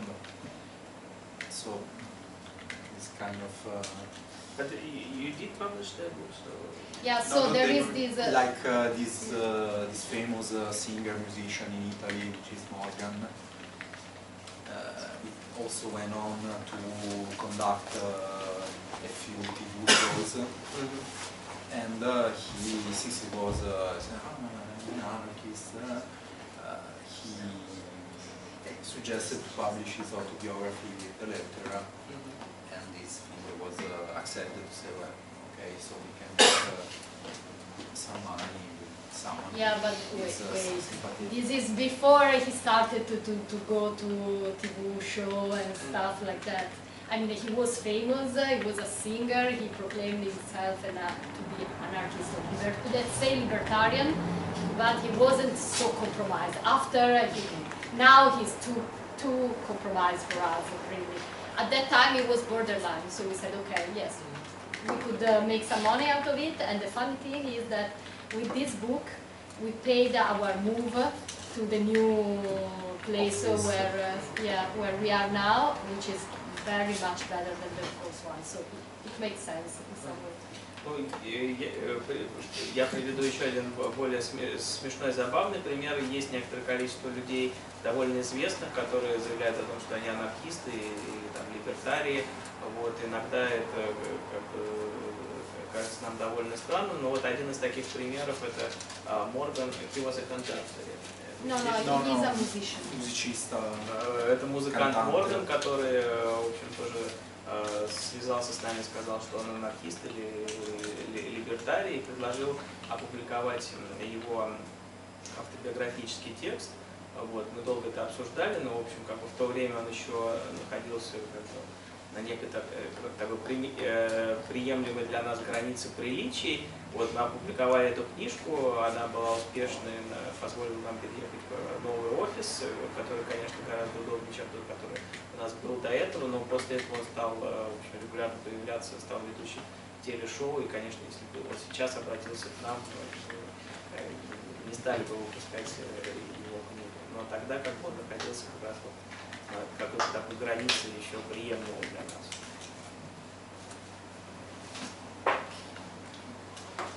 Ну, если вопросов больше нет, тогда давайте перейдем к высказываниям Олега. По поводу независимых э, издательств, какие проблемы. Проблема основная, я не знаю, есть ли здесь издатели самопровозглашенные либеральные. Основная проблема это отсутствие дистрибуции как э, институции, да, как класса. И окей, когда делают предзаказы с книжных магазинов, этого нет вообще. И те вот попытки, которые наблюдались там, ну, с нулевых годов, которые я видел, а, по созданию какого-то сообщества независимых издателей, небольших в основном было ориентировано как бы создание этой независимой параллельности дистрибуции, которая а, как бы позволяла бы сплотить э, активных читателей, активных читателей, которые дают фидбэк, которым книги нужны, не просто как а, исполнение некоторого ритуала из этих этих подарков. Давайте я перейду. Uh, So Олег involved independent publishing and he says that of course the main problem uh, which faces independent publishing in Russia is the uh, virtual lack of distribution, the network distribution. This problem was um, uh, realized by, by the independent publishers since uh, the early 2000s when there was a an surge of independent publishing. But the problem is that uh, the stores, uh, they don't pre-order books. So uh, the distribution becomes really a big problem because um, they, they don't pre-order books and it's, it's hard to, to do the planning. And at the same time, there were attempts to establish some sort of, alliance of independent Mm. publishers in order to also involve uh, people, the audience, into uh, uh, some cooperative relations Ну, Было пара попыток э, создания таких ассоциаций, это Агора и позднейшая попытка до сих пор существующая структура Альянс независимых издательств и дистрибуторов, а, которые, собственно, решают вот, вот эту проблему, а, но не путем создания параллельной сети, а путем организации совместных стендов на книжных ярмарках, частных ярмарках. И вокруг этого движения, собственно, создание альтернативных площадок, кочующих фестивалей, книжные места на фестивалях. И, собственно, происходит э, некоторое сплочение самых разных э, небольших независимых проектов. So, uh, for for the example, uh, to, to, to Mhm. To uh, to, to solve uh, this problem was the establishment of associations of independent publishers. One of them was back in 2003, it was called Agora, and uh, now there, there's a more recent one, called the Alliance of Independent Publishers. But uh, the problem that they try to solve is uh, actually the problem of distribution, and this is done by um, not by creating uh, parallel uh, by creating a distribution, network, but creating parallel structures such as festivals, or books, where pe- uh, where uh, different independent publishers can participate by sharing the stands, for example. And uh, this was uh, the way to. to Yeah, we had uh, exactly the same, which was the observatory on uh, independent publisher, publishers. And yeah, it was exactly the same. It was uh, an, an organization of uh, a lot of independent publishing houses uh, in Italy, and there was uh, Uh, manifesto. there was a manifesto, there were some, uh, because they were also in some way uh, leftist, let's say. So the, the manifesto said that publishing houses that would have Printed books about fascism or racism, but uh, they were not included and they couldn't even uh, join. Uh, and they used to promote uh, this fair, which is the first independent publishing book fair in Italy, which had a great success. No, it's in Milan. It has been it has been in Milan, Book Pride is the name, and uh, Но в Италии тоже, в общем, они пытались решить эту проблему аналогичным путем. У них существовала обсерватория, э, и существует, наверное, обсерватория независимых издательств, которая является как раз такой ассоциацией издательств, э, ну, скорее такой левой направленности. То есть у них был манифест, в котором было заявлено, что книги там с пропагандой фашизма, расизма и так далее а, не, не могут, э, люди выпускающие такие книги не, могут- не могут быть членами этой ассоциации. Они как раз пытались развивать в Милане вот такую э, ежегодную ярмарку, на которой были бы представлены независимые издательства. Yeah, and we did it uh, for uh, four years uh, in Milan. Then, then we started to do it in different smaller cities in Italy, like Genova, and we are thinking about other places. But I have to say we had some problems with it, within uh, it because even between uh, independent publishing houses, we, you have the richest one, and the power, the more powerful, and the more, so they at the end they managed to, to build something different. So they became uh, another kind of uh, cooperative, let's say, uh, which is uh, financed. So it's not auto-financed, it's financed, and the most money, the more money you put in it, so the richest you are, the more powerful you are within the organization. So for this reason, Eleutera choose to exit, even if we really worked so much for uh, all the organization. Me and my colleague were into the organization of the fair, and uh, Roberto worked uh, for two years, right? The organization. So we put a lot of effort, but when they did this transformation, then we decided to exit. Ну вот на протяжении четырех лет они проводили эту ярмарку независимых издательств э, в Милане, потом они решили, что она будет такая кочующая, они пытались э, в различных других городах проводить ее, и э, в результате как бы та ассоциация, которая существовала, она трансформировалась в некий кооператив, который уже был не только самофинансируемым, но и получал какие-то деньги со стороны. Ну и, конечно, возникла проблема, что, скажем, более богатые издательства, они вкладывали больше денег в этот кооператив и в итоге получали большую власть.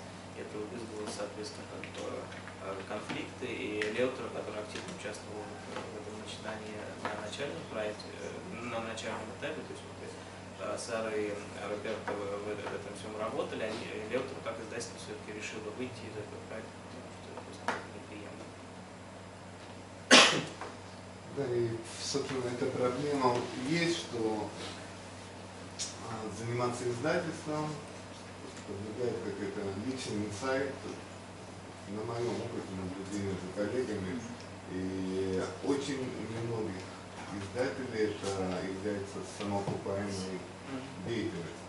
Очень немногих. Если это индивидуальный героизм, если это индивидуального просветления или героизма, то очень сложно создать какое-то реальное сообщество, которое бы было обществом взаимопомощи.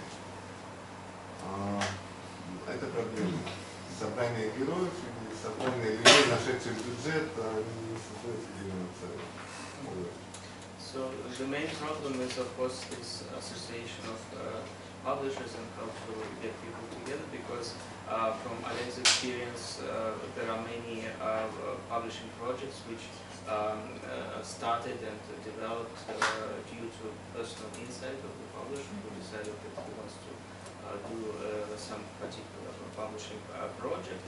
Uh, and um, very few of them survive because uh, it is very rare that independent publisher in Russia would sustain uh, the project financially. And that is why it's either uh, personal insight or some money from external sources. And it's hard to get people like this together in, in, a, in a common association and uh, at the same time doesn't solve the, the problem of uh, cooperation and mutual aid because uh, uh, the collection of individual heroes or Yeah, yeah, yeah, I see, I see. people with some money is not Mhm. Yeah, in Italy maybe it's a little different because there are some uh, some independent publishing houses which are uh, old, let's say, so they last since years, like Leutera.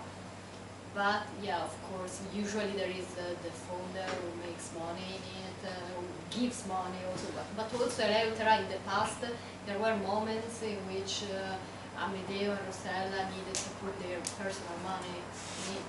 So right now we are very proud of the fact that since, for example, since I work there, we can survive with what we earn, let's say, and we are we have also give back uh, some money to Rosella, for example, for the past. So we are very proud of this. But of course, uh, in the history of the independent publishing, it's very rare that uh, publishing house uh, can survive more than a few years without any. If there is no e- either a uh, financiation from outside, e- either uh, a owner which has the possibility of cover, you know, the bad moments. Ну, в Италии тоже э, много случаев того, что э, независимые издательства существуют на протяжении нескольких лет, скажем, но они не могут э, существовать долгое время, потому что э, бы требуется либо стороннее финансирование, то есть как бы, владельцы издательства могут время от времени, скажем, покрывать какие-то возникающие э, разрывы. Э, Риэлтор в этом смысле является одним из уникальных э, примеров, потому что на протяжении 32 лет они существуют. За этот период, конечно же, вот Амедео, Бертоло и Рассело Делео, основатели издательства, они время от времени вынуждены были вкладывать туда свои собственные деньги.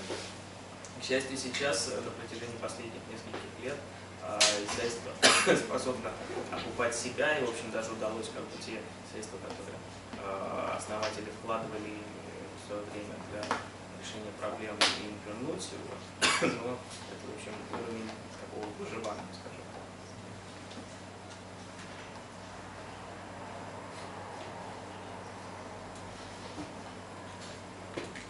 Еще мнение,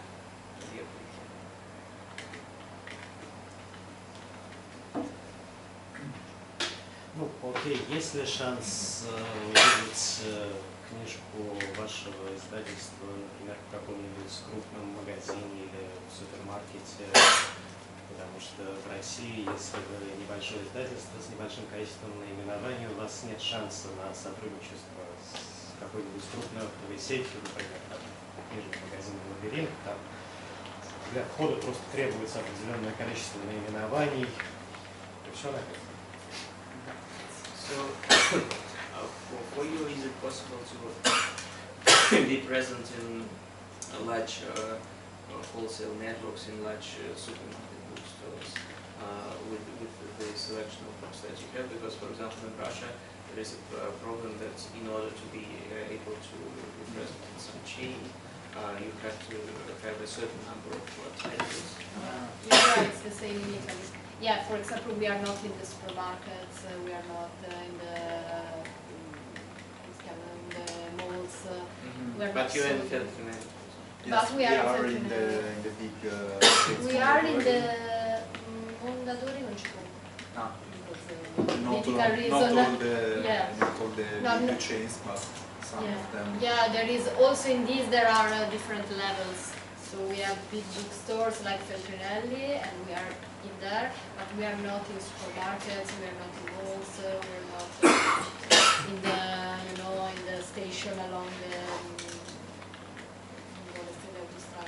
Мгм. The after really, uh, Yeah. in the highways, uh, the- the yeah, yeah. stores in the highways. So, Ну, конечно, как бы книжки риэлтора не присутствуют в супермаркетах, там, в больших шопинговых центрах, на э, бензозаправках там, и так далее, но они представлены, э, скажем, вот, э, в крупнейшей сети Фильтринелли, потому что они покупают их книжки, а, вот, скажем, сеть Мондадори, она отказывается покупать их книжки. То есть есть разные варианты, но, конечно, в общем, там, на бензозаправках их книжки в супермаркетах. Но там тоже такой же принцип, что для того, чтобы там присутствовать, нужно иметь определенное количество э, книжек. Ну, в России, на самом деле, главная проблема небольших издательств – это отсутствие книжных магазинов. Все ли с этим в порядке в Италии? Потому что только за последние два месяца закрылось э, два магазина. Книжный магазин «Факел» в Петербурге и итальянский книжный магазин «Маршак» в Туле. Или Бакин в Красноярске. Бакин в Красноярске закрывается. Бакин закрывается. Бакин закрывается. Еще один закрывается. So in Russia, for example, there's a big problem that uh, independent bookstores close uh, recently on a rather regular basis. There was one store closed in uh, St. Petersburg, one in Dubno, one in Krasnoyarsk, and so on. Uh, and the, the general problem is the um, limited number of bookstores in the Mm. country. Is it the same way in Italy or is it different? No, I wouldn't say we have this kind of problem. I mean, it's so. I would say that rather the contrary. There are uh, many. Well, of course, Milan is the most uh, reading city in Italy. So we live and work in Milan, and this is a little bit atypical.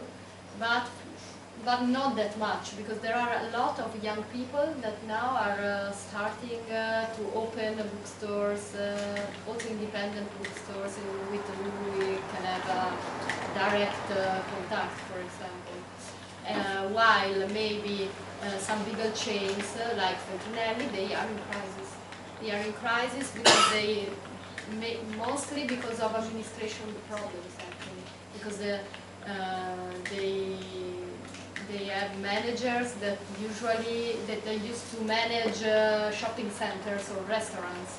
So there is no any care for uh, the sector.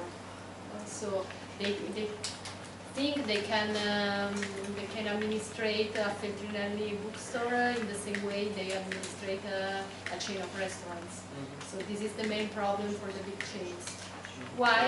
Yeah. А, Ну, а они ра- работают в Милане, это самый читающий город Италии, поэтому они находятся немножко в э, нетипичной ситуации.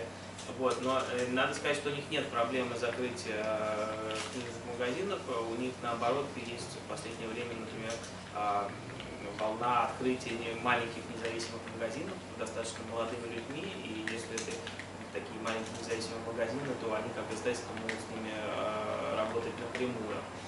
Вот. Конечно, например, большие сети вроде Филтринелли находятся в кризисе, но э, Сара считает, что это во многом связано именно с административными проблемами, потому что как бы это представляет собой э, крупную сеть книжных магазинов, но при этом управляют книжными магазинами, например, люди, которые до этого управляли ресторанами, там, сетями ресторанов, какими-то супермаркетами и так далее. То есть у них нет опыта и нет э, реального интереса управлять книжным бизнесом как таким довольно особенным бизнесом. Они управляют им как они управляли бы сетью ресторанов, и это приводит к проблемам.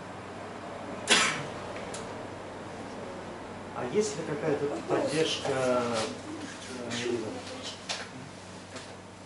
У меня два вопроса. Во-первых, изменилось ли что-нибудь с развитием интернета? И во-вторых, выкладываете ли вы книги в интернет, или вы, вот, допустим, ждете окончания продаж, после этого выкладываете в интернет? Does the development of internet change a lot in,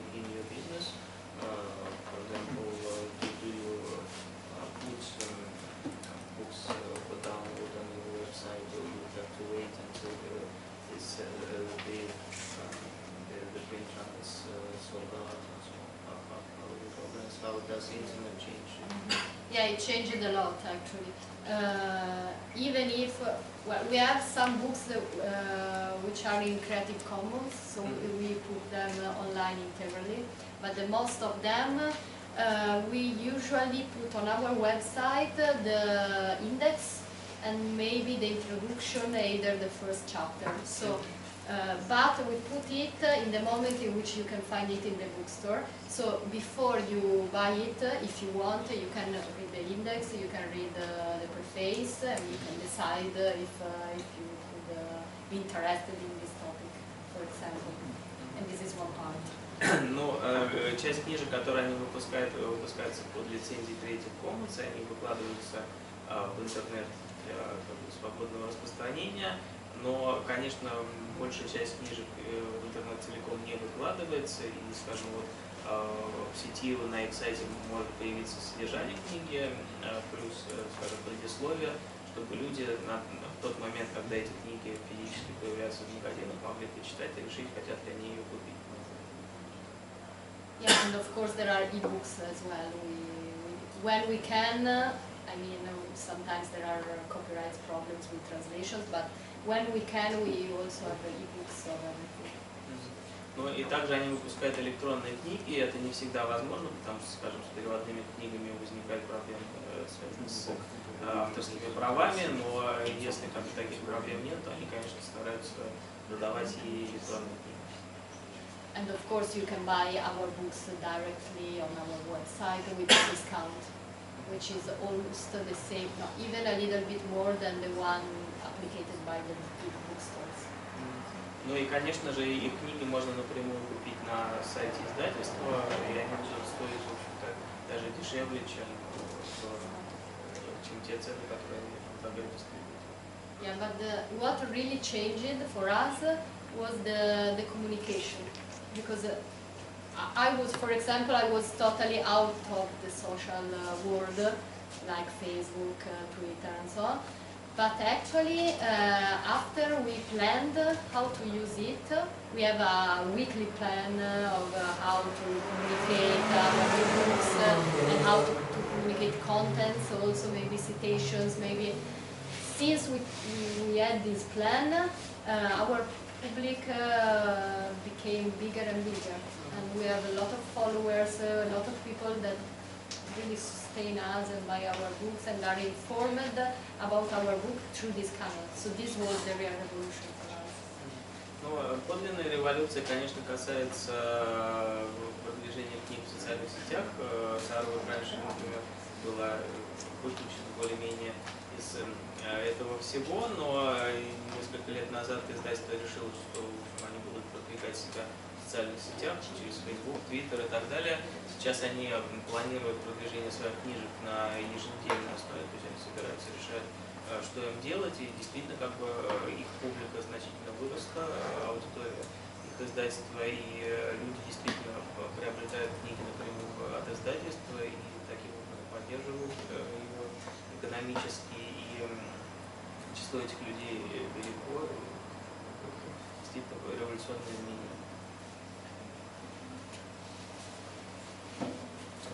А есть ли какие-нибудь налоговые льготы или субсидии для издательств, книжных магазинов или книжной отрасли существуют в рамках условий совсем представленных?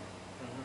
Are there any uh, tax preferences for uh, uh, editorial houses or uh, bookstores in Italy, or they uh, exist in the same conditions as any other business entities?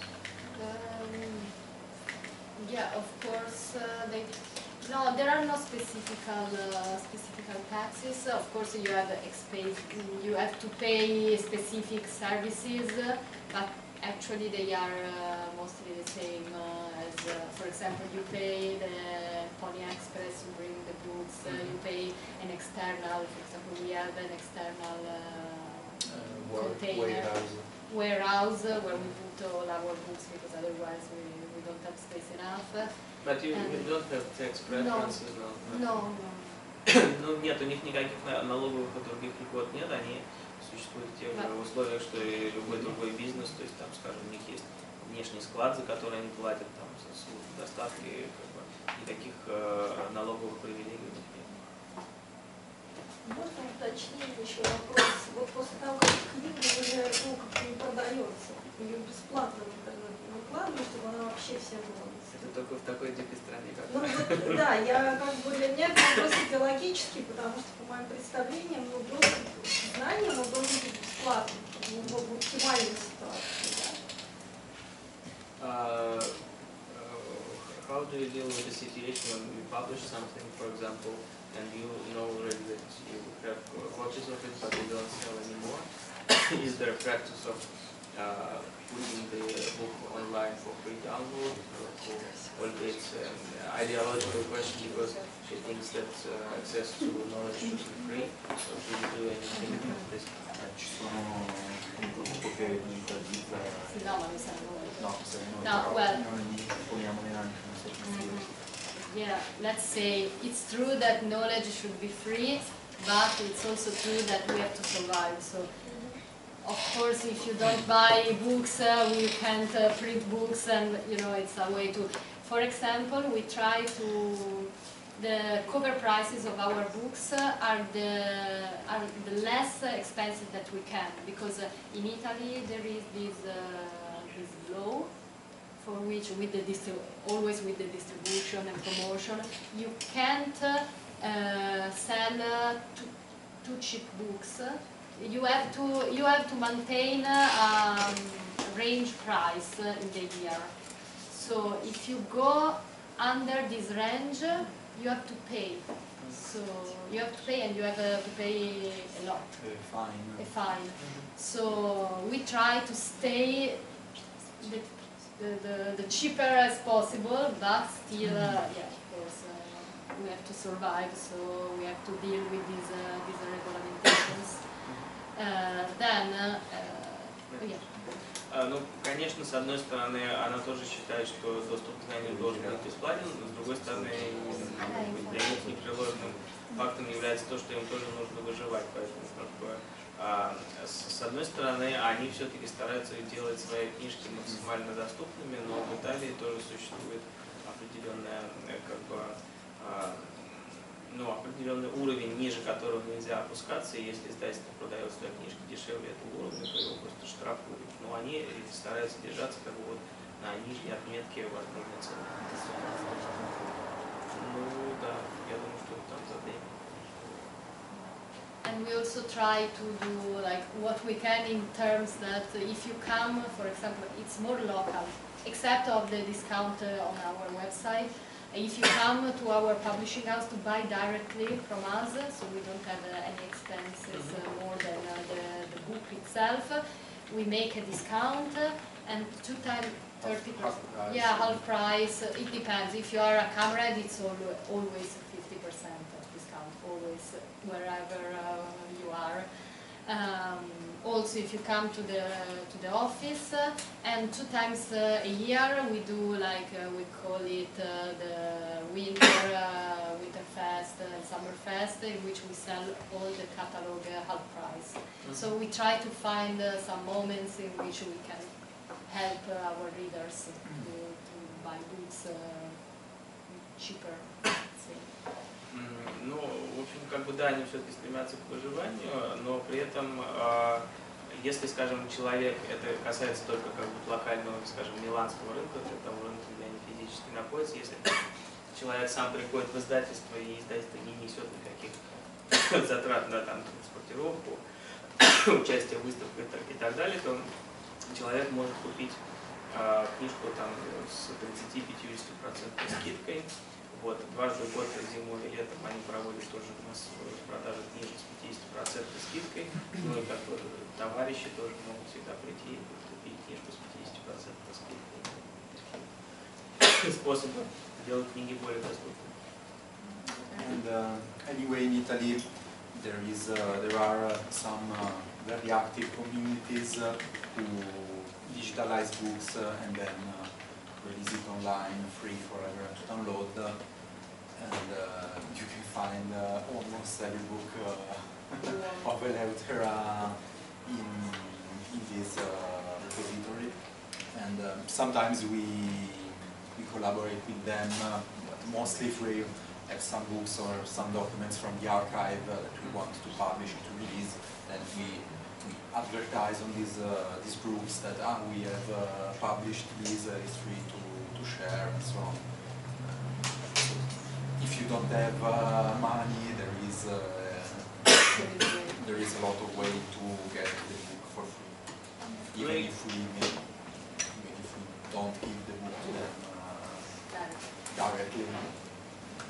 Ну, есть, конечно, в интернете группы, сообщества, где активно де- э, идет процесс оцифровки ли- литературы.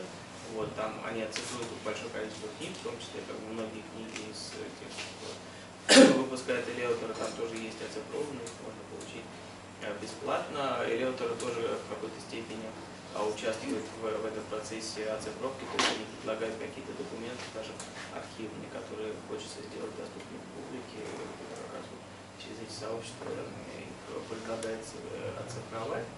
Uh, but in, uh, for example, there are no cases when, for example, somebody digitalized your book and you go to court or No, you no, no, of we course would, not. ne- would never ever do this. Ну и в суд, конечно, по поводу нарушения своих авторских прав. We don't deal with court. Судами они не имеют, э, не имеют дела, как пошутил Роберт, они в частном порядке решают settled things uh, in private.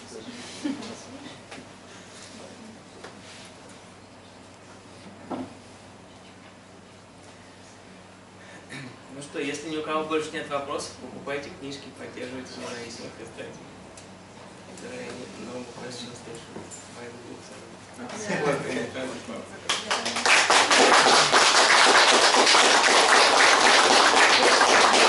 Just, just one thing we wanted to say thank you to Misha for, uh, of course, for the invitation to be here tonight, but also for the work he did, because for us this, uh, this is a very important book. It's a collective work, uh, who, as he said, has been translated into many languages.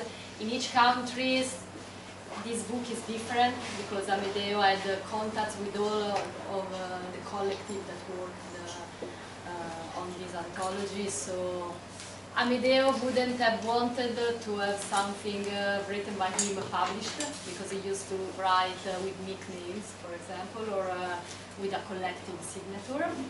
But he would be happy to, to know that so many collective uh, all over, uh, let's say all over the world uh, are, are working on this and are doing such great work as uh. It was not only Misha, it was Yeah, uh, all the a- one a big collective of translators, which is listed here. Ну, Сара поблагодарила меня за перевод и выпуск этой книги.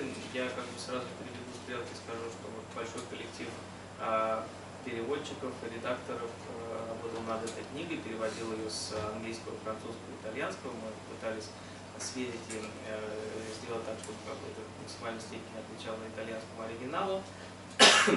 вот. А, Надо сказать, что да, действительно, эта книжка вышла примерно одновременно в разных странах, в разных э, странах она разная, потому что, собственно, выпуском этой книги занимались те люди, которые были так или иначе э, связаны с Амедео Бертоло, когда он э, был жив, и, э, в общем, как бы он сам не очень бы хотел, э, чтобы его книга была выпущена, он часто писал под псевдонимами, но в итоге, э, в общем, можно сказать, что во многих частях мира вышли а, примерно одновременно книжки, э, которые друг от друга отличаются и являются замечательным сборничком произведений. А я со своей стороны хочу поблагодарить э, магазин Кентавра, который предоставил площадку для а, нашей презентации, для нашей дискуссии. Вот. А, Конечно, издательство «Черный квадрат» уже есть э, в социальных сетях, ВКонтакте и в Фейсбуке. Там заявлено в книжках, что наши книжки можно купить на сайте. На сайт висит пока в старой версии 2011 года, но как только мы немножко продохнем от разноса книжек по магазинам, мы займемся сайтом, книжки можно будет купить и на сайте, и, наверное, как бы через социальные сети. В Москве в любом случае это будет сделать несложно, и несложно будет э, заказать книги точно. Ну и мы работаем над тем, чтобы наладить и дистрибуцию в других городах.